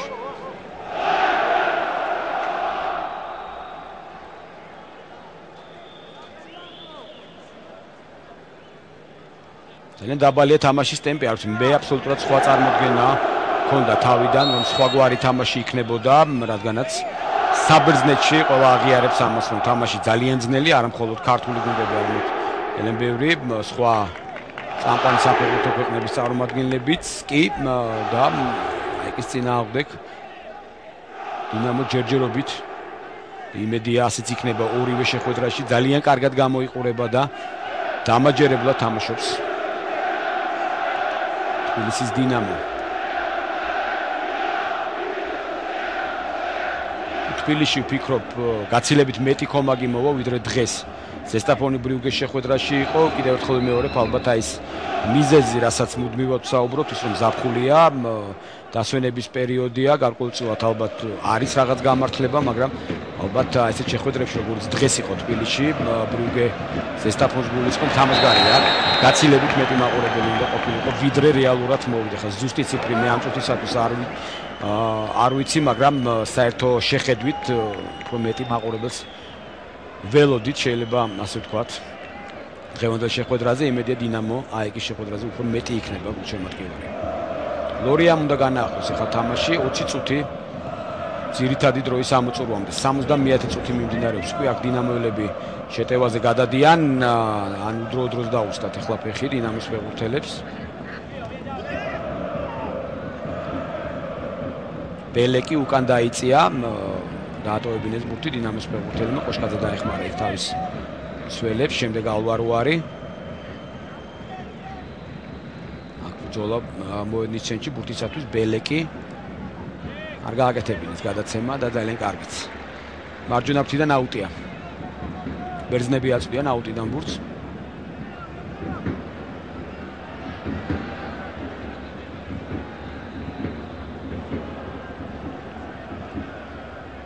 გუნდის კაპიტანი კაფესი უკან დააბრუნა ბურთი ლიბერ და გეორგიასთან კიდე უფრო უკან ალბათ გადაცემა ასეც არის. მანოლასი აწვის მეკარე კონსტანტინოპოლოს რომელიც თავის ხრი ძლიერი დარტყმით წინზავნის კარგად თამაშობენ. დინამოს ფეხბურთელები მოედნის ცენტრში ასე ვქო ზედმეტი იყო ფიქრობ. ოშკაძეა მე მეტოქესთან ყველაზე ახლოს აგბურთის გატარება შეიძლება საერთოდ ანლორია შვიდათ აიღოს ჯობს. გუდიონსენი ჯერჯერობით აჩრდილი იმ გუდიონსენის რომელიც ჩვენ გვახსოვს. მისთვის ალბათ განსაკუთრებით კარგი პერიოდი იყო ჩელსიში, მოდით პირდაპირ ვთქვათ. ხა ბარსელონაში გუდიონსენი მაინც წარმატებით ვერ თამაშობდა და ამ გუნდის ლიდერობა ძალიან პირობითი არის რომ ვისაუბროთ გუდიოსენზე ჩელსიში მართლაც კარგად გამოდიოდა გარკვეული პერიოდის მანძ იქ ერთ-ერთმა დინამოელმა ტრავმა მიიღო გადავარდა. როდის პარტნიორების გარეთ და სარბენბილიკებზე აბსოლუტურად არ მიუქცევია ყურადღება თუმცა ეხლა კი გააჩერა თამაში. ნუ ფიცხები არიან ბერძენი ფეხბურთელები აი ამ ეპიზოდშიც ეხლა. გეორგიასმა დინამოელები უნდა დაწყნარდნენ რაც თავარია ეხლა კვეკოსკირი უნდა დამშვიდეს. არ არის აუცილებელი ყველაფერზე ხა კოშკაძე აი კიდევ ერთხელ ახალგაზრდა თანაგუნდელებს სიმშვიდისაკენ მოუწოდებს.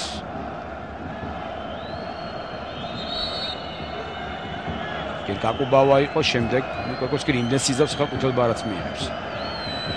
გასაგებია, უნდა დაწნარდეს მთავარია ვითამაშოთ, ვითამაშოთ. კარგად მეტოქის პროვოკაციებზე წამოგება ნამდვილად არ შეიძლება. არაფრით არ შეიძლება. წინ საპასუხო მატჩია და ამ მატჩის დასრულებამდე ჯერ სავსებით საკმარისი დრო არის იმისაც რომ ბევრი რამ შეიცვალოს მოედანზე. ისევ აღარ არის ჯარიმა. ჩვენ და სამწუხაროდ შეიძლება და კარგი ჯარიმის გამოყენება.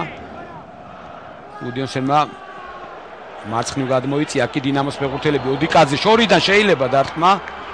დაარტყა, მაგრამ არაზუსტი გამოდგა. მიკიაგუ ელოდებოდა პას.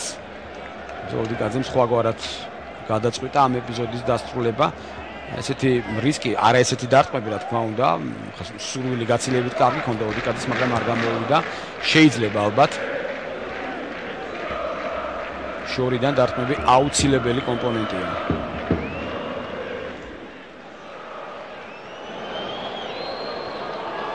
მარცხენა ფრთა დინამოს ფეხბურთელების შეტევაზე ჩაწოდება ისევ დინამოელები ბოლომდე იკოშკაძემ უნდა იბრძოლოს თუმცა შემდეგ საბოლოოდ თამაშის წესს არღვევს მანოლასთან ორთაბრძოლაში.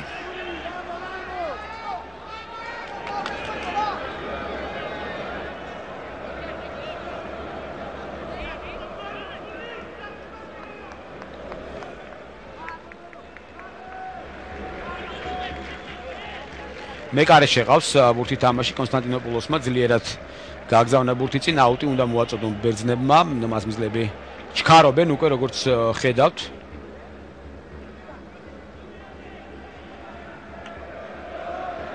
მოენის ცენტრში აქ შეიძლება კიდევ ერთი ხელ კიდევ ერთი ბრძოლა ბურთისათვის შეიძლება კარგად დასრულებულიყო დინამოსათვის ოდნავ დააყოვნე ხლა ამ ეპიზოდში გეორგიასი იყო ეს ფეხბურთელი და საბოლოოდ არ გამოვიდა დინამოს ფეხბურთელებს არაზუსტი გადაცემა. კიდევ ერთხელ მეორე ფა ესეთი სწრაფი თამაში მოედნის ცენტრში დელასია უკვე გამოსვლილი ფეხბურთელი.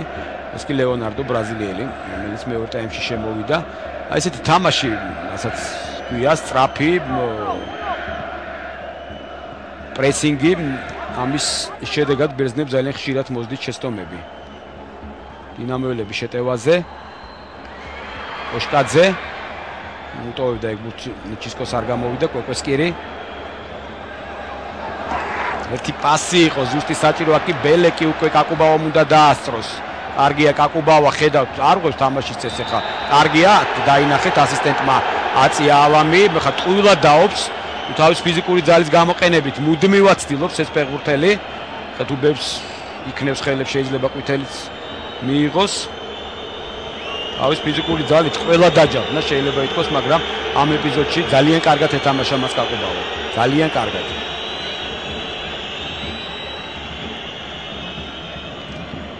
გააცხარეს ძალიან თავის მოფეხბურთელებმა გამოცდილი სპეციალისტი გულისხმობ მანუელ ხიმენეს. ჩისკოსაც უყვარს ხელების შლა. სამხრეთელია, ესპანელია და ალბათ გასაგებიც არის მისი ტემპერამენტი.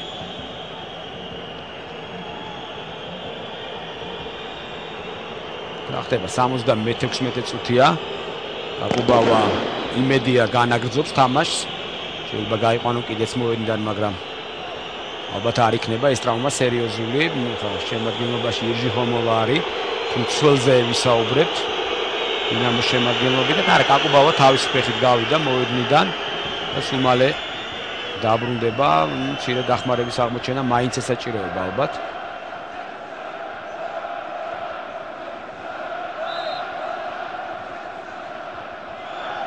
კოკოსკირი დარჩა თომაშვილთან ერთად უკან, როგორც დაინახეთ, აქ კიდევ ერთი ჯარიმა, ამჯერადაც ბერძნები არიან დამნაშავენი.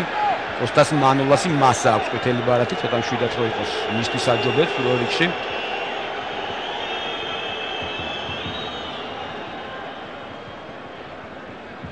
დინამო თამაშობს დალაგებულად შეიძლება ითქვას და დინამო თამაშობს ისე როგორც ძალიან ხშირ შემთხვევაში სტუმრად თამაშობენ მეტოქე გუნდის ფეხბურთელები იქ პატარ-პატარა ჯარიმებიც ბუთის დაჭერა მაინც და მაინც გამწოვება არ არის. აი სადაკეთებდა გადაცემას აუდიკაძე იდგა. მარჯვნივ მისი მისამართი ჩისკო საბოლოოდ გუდიონსენისგან გადავიდა ბურთი. და ალბათ არც ხარ ამდენად შეიძლება ამაზე საუბარი მაგრამ ფეხბურთელები რომ ჭხნელის დავალება სასრულებენ მე დარწმუნებული ვარ სწორედ ასე იქნება. რაც თავარე მოენის ცენტრში ბურთის მოპოვება იქ გარკვეულ დროის მანძილზე პრესინგი დამაჯერებელი მოქმედება დაცვაში ცოტა ხისტიც.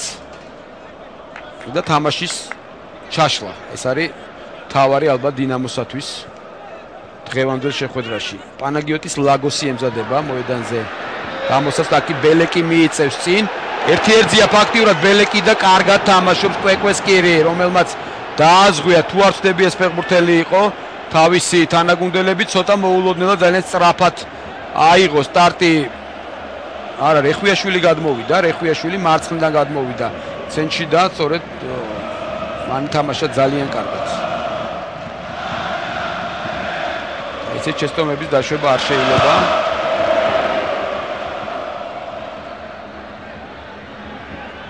ხუიაშვილი მარცხენა ფრთაზე აუტი უნდა მოაწოდონ დინამოელები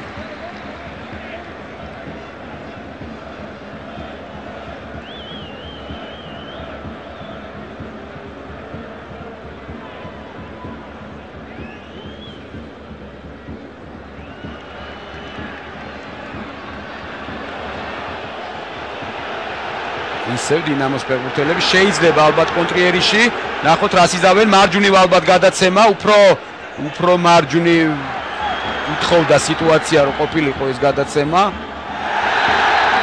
აკი ჯარიმა არის.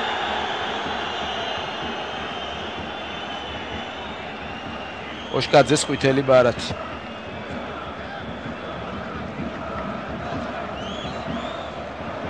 ბოლო წუთებია უკვე მატჩის და ალბათ უფრო შვიდათ არის თამაში. საჭირო. უფრო ყურადღებით თითოეულ შეცდომას აქ შეიძლება ოქროს ფასიც კი კონდეს. ჯარიმას ასრულებენ.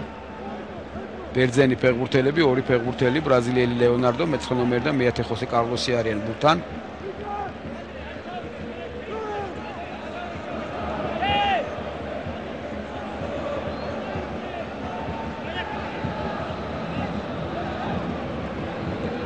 80 წუთი მიმდინარეობს. ჩაწოდება ლორია უნდა გამოვიდეს, გამოდის ძალიან კარგად. სწრაფად შეტევა არის, რამდენად გამოვა ყველანი საკუთარ ნახევარზე იყო დინამოელები, ახლა ძლიერად გზავნის ლორია ბურთს, აქ ერთადერთი ბერძენი მცველია იმ ადგილზე, სადაც ბურთი იყო გაგზავნილი, აქ იბრძოლა ბურთისათვის, ბელეკი ეუფლება ისევ. ძალიან საშიშია თავისი მოძრაობებით კამერუნელი ფეხბურთელი, ამჯერად არაფერი არ გამოუვიდა. მთელი თამაში როლიქში თავისი ფიზიკური ძალის მეშვეობით ცდილობს ფონს დასვას. უდიონსენი გაყავს.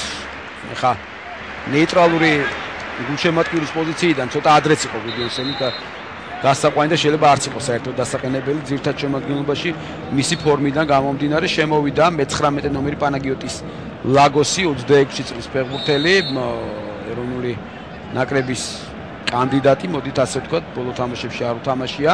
და სხვათა შორის 2005-2006 წლებში ეს ფეხბურთელი გახდა.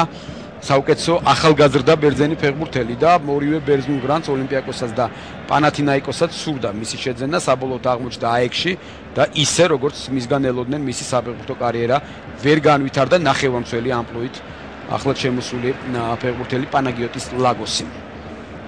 აუტი მარჯვენა ფრთიდან მოაწოდეს. აუტიდან ბურთი ბელეკი მეკარე ლორია კარგად თამაშობს. არ არის ახლა სიჩქარე საჭირო. მიუხედ მით უმეტეს წინ მაინც ბევრნი დინამოს ფეხბურთელები არ არიან. რასაკეთებდა? პასაკეთებდა ალბათ იმ იმედით რომ სიღრმეში კიდევ ერთი ბერძენი ფეხბურთელი იქნებოდა. ბერძნული კლუბის.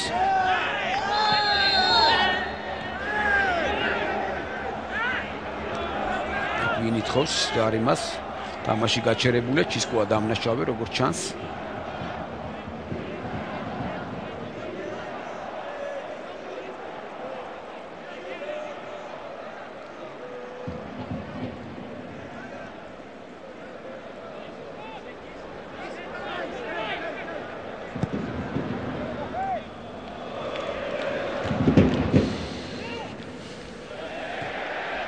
ბრძოლა ბურთისათვის მოედნის ცენტრში ბერძენი ფეხბურთელები არიან. ძალიან კარგი გადაცემა. თამაშგარე მდგომარეობა თამაშგარე მდგომარეობა.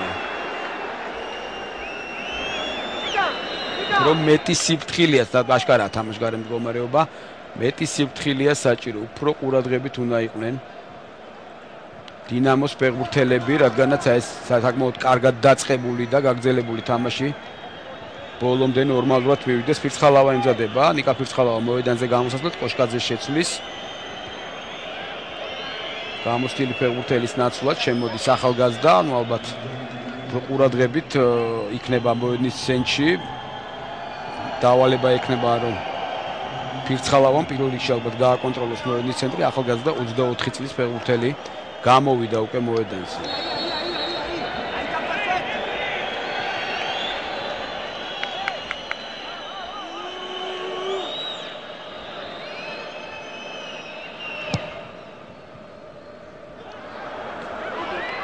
დინამოს ფეხბურთელებს შეიძლება გარისკვა ნებისმიერ შემთხვევაში შეიძლება. არა. ასე არა. ალბათ უფრო აი პირველ ეპიზოდში როდესაც მიიღო ბურთი შეიძლება და დარტყმა. ალბათ ამ ეპიზოდში მაგრამ ფოტომ ვერ დაარტყა. აკი მეკარეს პასი და ლორია წინ ძლიერად გზავნის 94 წუთი გასაგებია განსაკუთრებით მეორე ტაიმში დინამო მეორე ნომრად თამაშობს, მაგრამ ის რომ დინამო თლიანად დაცვაზეა ორიენტირებული, ამის თქმაც მე მგონი არ შეიძლება. პირველ ტაიმში უფრო მეტი იყო აქტიურობა დინამოსის შეტევაში და მეორე ტაიმშიც მეორე ტაიმში უკვე აშკარაა ასპინძელთა ოპერატესობა, მაგრამ მაინც ცდილობენ დინამოს ფეხბურთელები კონტრიერიშების წარმართვას. ჩისკო ესეთ ფეხბურთელების გამოცდილება ასეთ მატჩებში ძალიან მნიშვნელოვანია.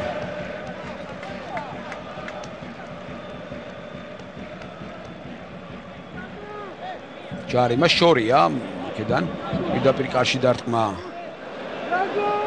მიწია ბურთი ხოსე კარლოსმა მაქსიმალურად. ერთი ფეხბურთელი დგება მხოლოდ და მხოლოდ ცოცხალ კედელში. ალბათ ჩაწოდება იქნება კიდევ ერთხელ ვიმეორებ ასეც არის ბილი ჩაწოდება ბძოლა ბურთისათვის მოიგეს ბერძნემა კოსტას მანოლასმა კერძოდ და მეკარელ ორია თამაშობს ძალიან კარგად ამ ეპიზოდში მშვიდად ეუფლება ბურთს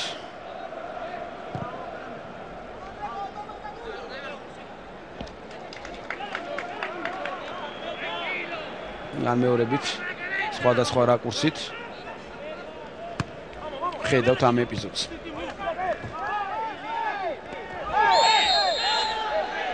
ჯარიმა არის. დინამოს ფეხბურთელებმა უნდა განაახმო თამაში რა მოხდა? არ ჩანდა მაგრამ ის რომ მიაგუე წააქციეს ფაქტია. კიდევ ერთ ყვითელ ბარათს ადლებს აი კიდევ ერთხელ მე ძალიან საინტერესო სტილი აქვს ამსაც ყვითელი ბარათების მიცემას ფეხბურთელს იხმობს უხსნის და შემდეგ იღებს ჯიბიდან. უკვე ამოღებულია კარაბელასი. გახდათ ამ ეპიზოდში დამნაშავე. თბილისური მატჩისგან განსხვავებით საჯობა არის იდეალური ალბათ აქ ლეონარდოს უნდა მიიღო თელი ბარათი. მე მგონი მე-9 ნომერი არ ყვებდა თამაშის წესს აშკარად. ისე მცველები თამაშობენ კარგად.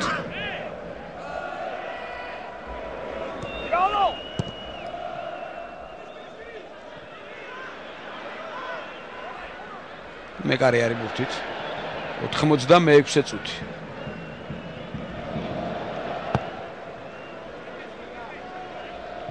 შვიდი ყვითელი ბარათია დღევანდელ შეხვედრაში.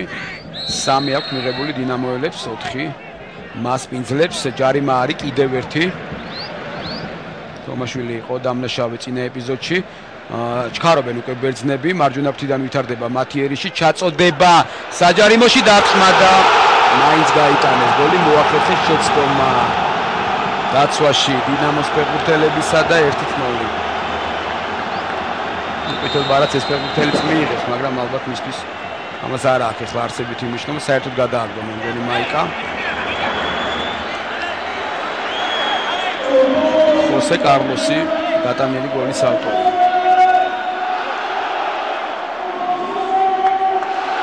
ერთით 0 სამწუხაროდ ბოლომდე ვერ გაუძლეს დინამოს ფეხბურთელებმა და ეს ბოლო იერიში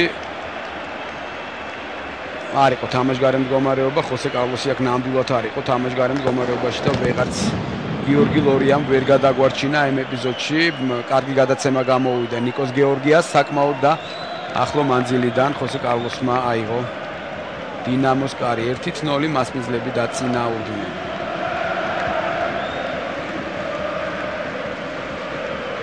ძალიან კარგად თამაშა ამ ეპიზოდში სიღრმიდან შემოიჭრა ახალგაზრდა ესპანელი ნახევარმცველი და გაიტანა კიდეც გოლი.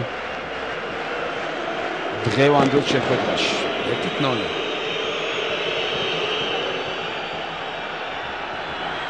ეთელ ბარათი გასაგები იყო რომ მიიღებ და ისევ ბერძნები აქტიურობენ. ახლა კი უკვე განსაკუთრებული სიფრთხილეა საჭირო 1-0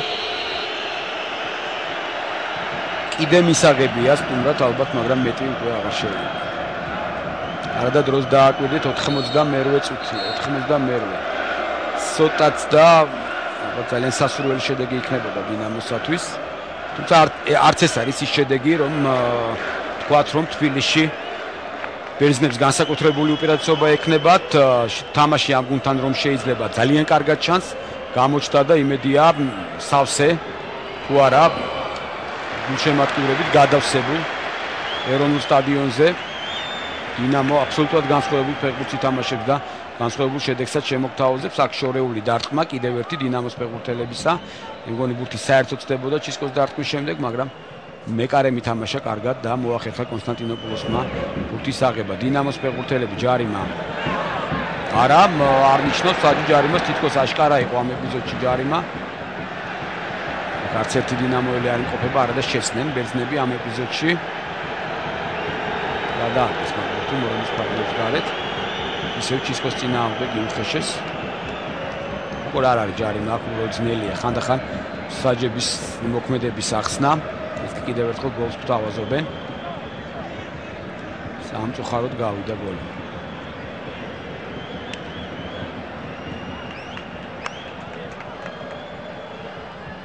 ну საერთო ჯამში ორივე ქართულმა გუნდმა ალბათ იგივე გააკეთა. ეხლა დინამოს ფეხბურთელმა ძალიან სწორეც არის. ძალიან სწორ ლექტვაზე გამოსულა მოედანზე არ გვინახია ჩისკოს ნაცვლად. ახალგაზრდა ნახევარმცველია.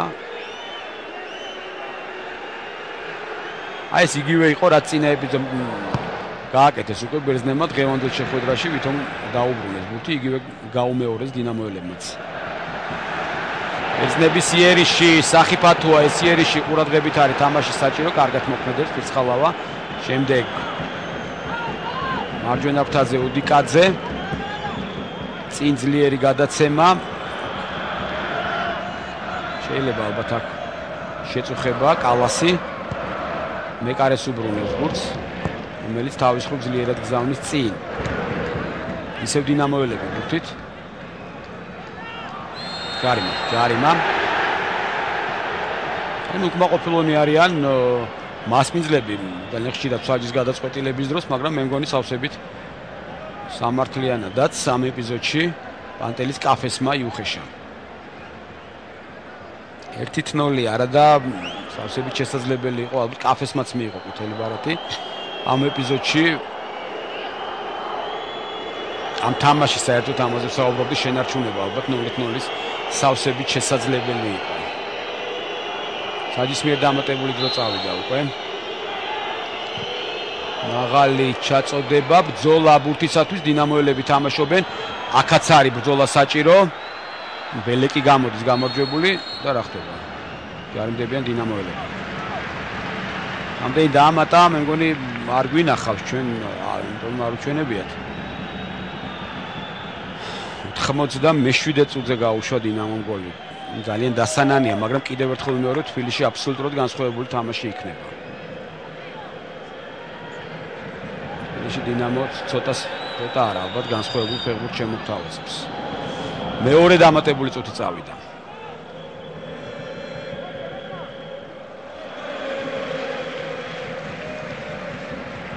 ჯარიმა ეცნები აი პატარ-პატარა უხეშობით რაღაც პირველ ტაიმში არ იყო ეს უხეშობა მეორე ტაიმში. გასაგები იყო ხა ვერ ასწრებდა ეს ფეხბურთელი რომელიც უხეშობდა ნიკოს კარაბელასი. ზაღმოთ ხისტად ჩაუდგა ფეხი. ლეფთაძის ლეფთაძის მისამართით პასი ვერ დაეწევა ამ ბურთს ახალგაზრდა ნახევარმცველი ორი წუთი დამატებული ფაქტიურად გავიდა რამდენი დაამატა? მანუელ ხიმენესი ალბათ შედეგით მაყოფილია მაგრამ თავისი გუნდის თამაშით მაყოფილი ნამდვილად არ უნდა იყოს. ალბათ მეცელიან ამბობისაგან.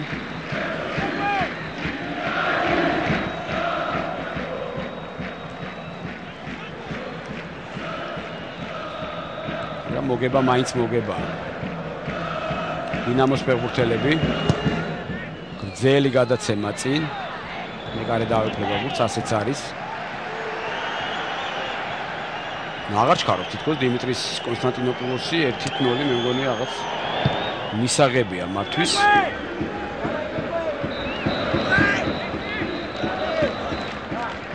თომაშვილი რასაკეთებს არ შეიძლება ხლა შეცდომის დაშვება უნდა გამოეტანა ბუთი საკუთარი ნახევრიდან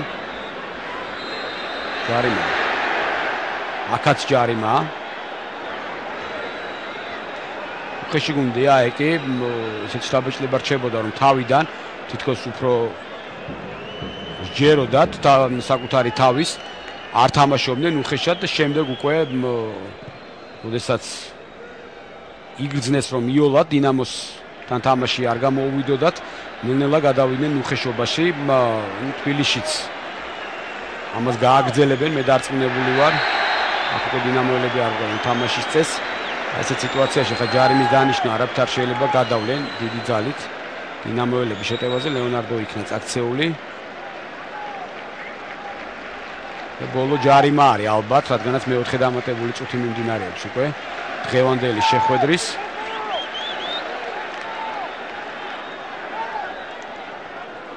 განმეორებითი მატჩი თბილისში შეიძლება. ესე უყურადღებობა დინამოს. არა თამაშგარია. თამაშგარია თამაშგარია ესეთი უყურადღებობა მაინც არაფრთ არ შეიძლება. თითქოს ყველაფერი კარგად მიდიოდა მაგრამ მატჩის ბოლოს რაღაც მოდულნენ დაიღალნენ თუ რაჭი დინამოს ფეხბურთელებს აქ კი კონტრიერიში დინამოსი და ალბათ ეს იყო ბოლო ეპიზოდი.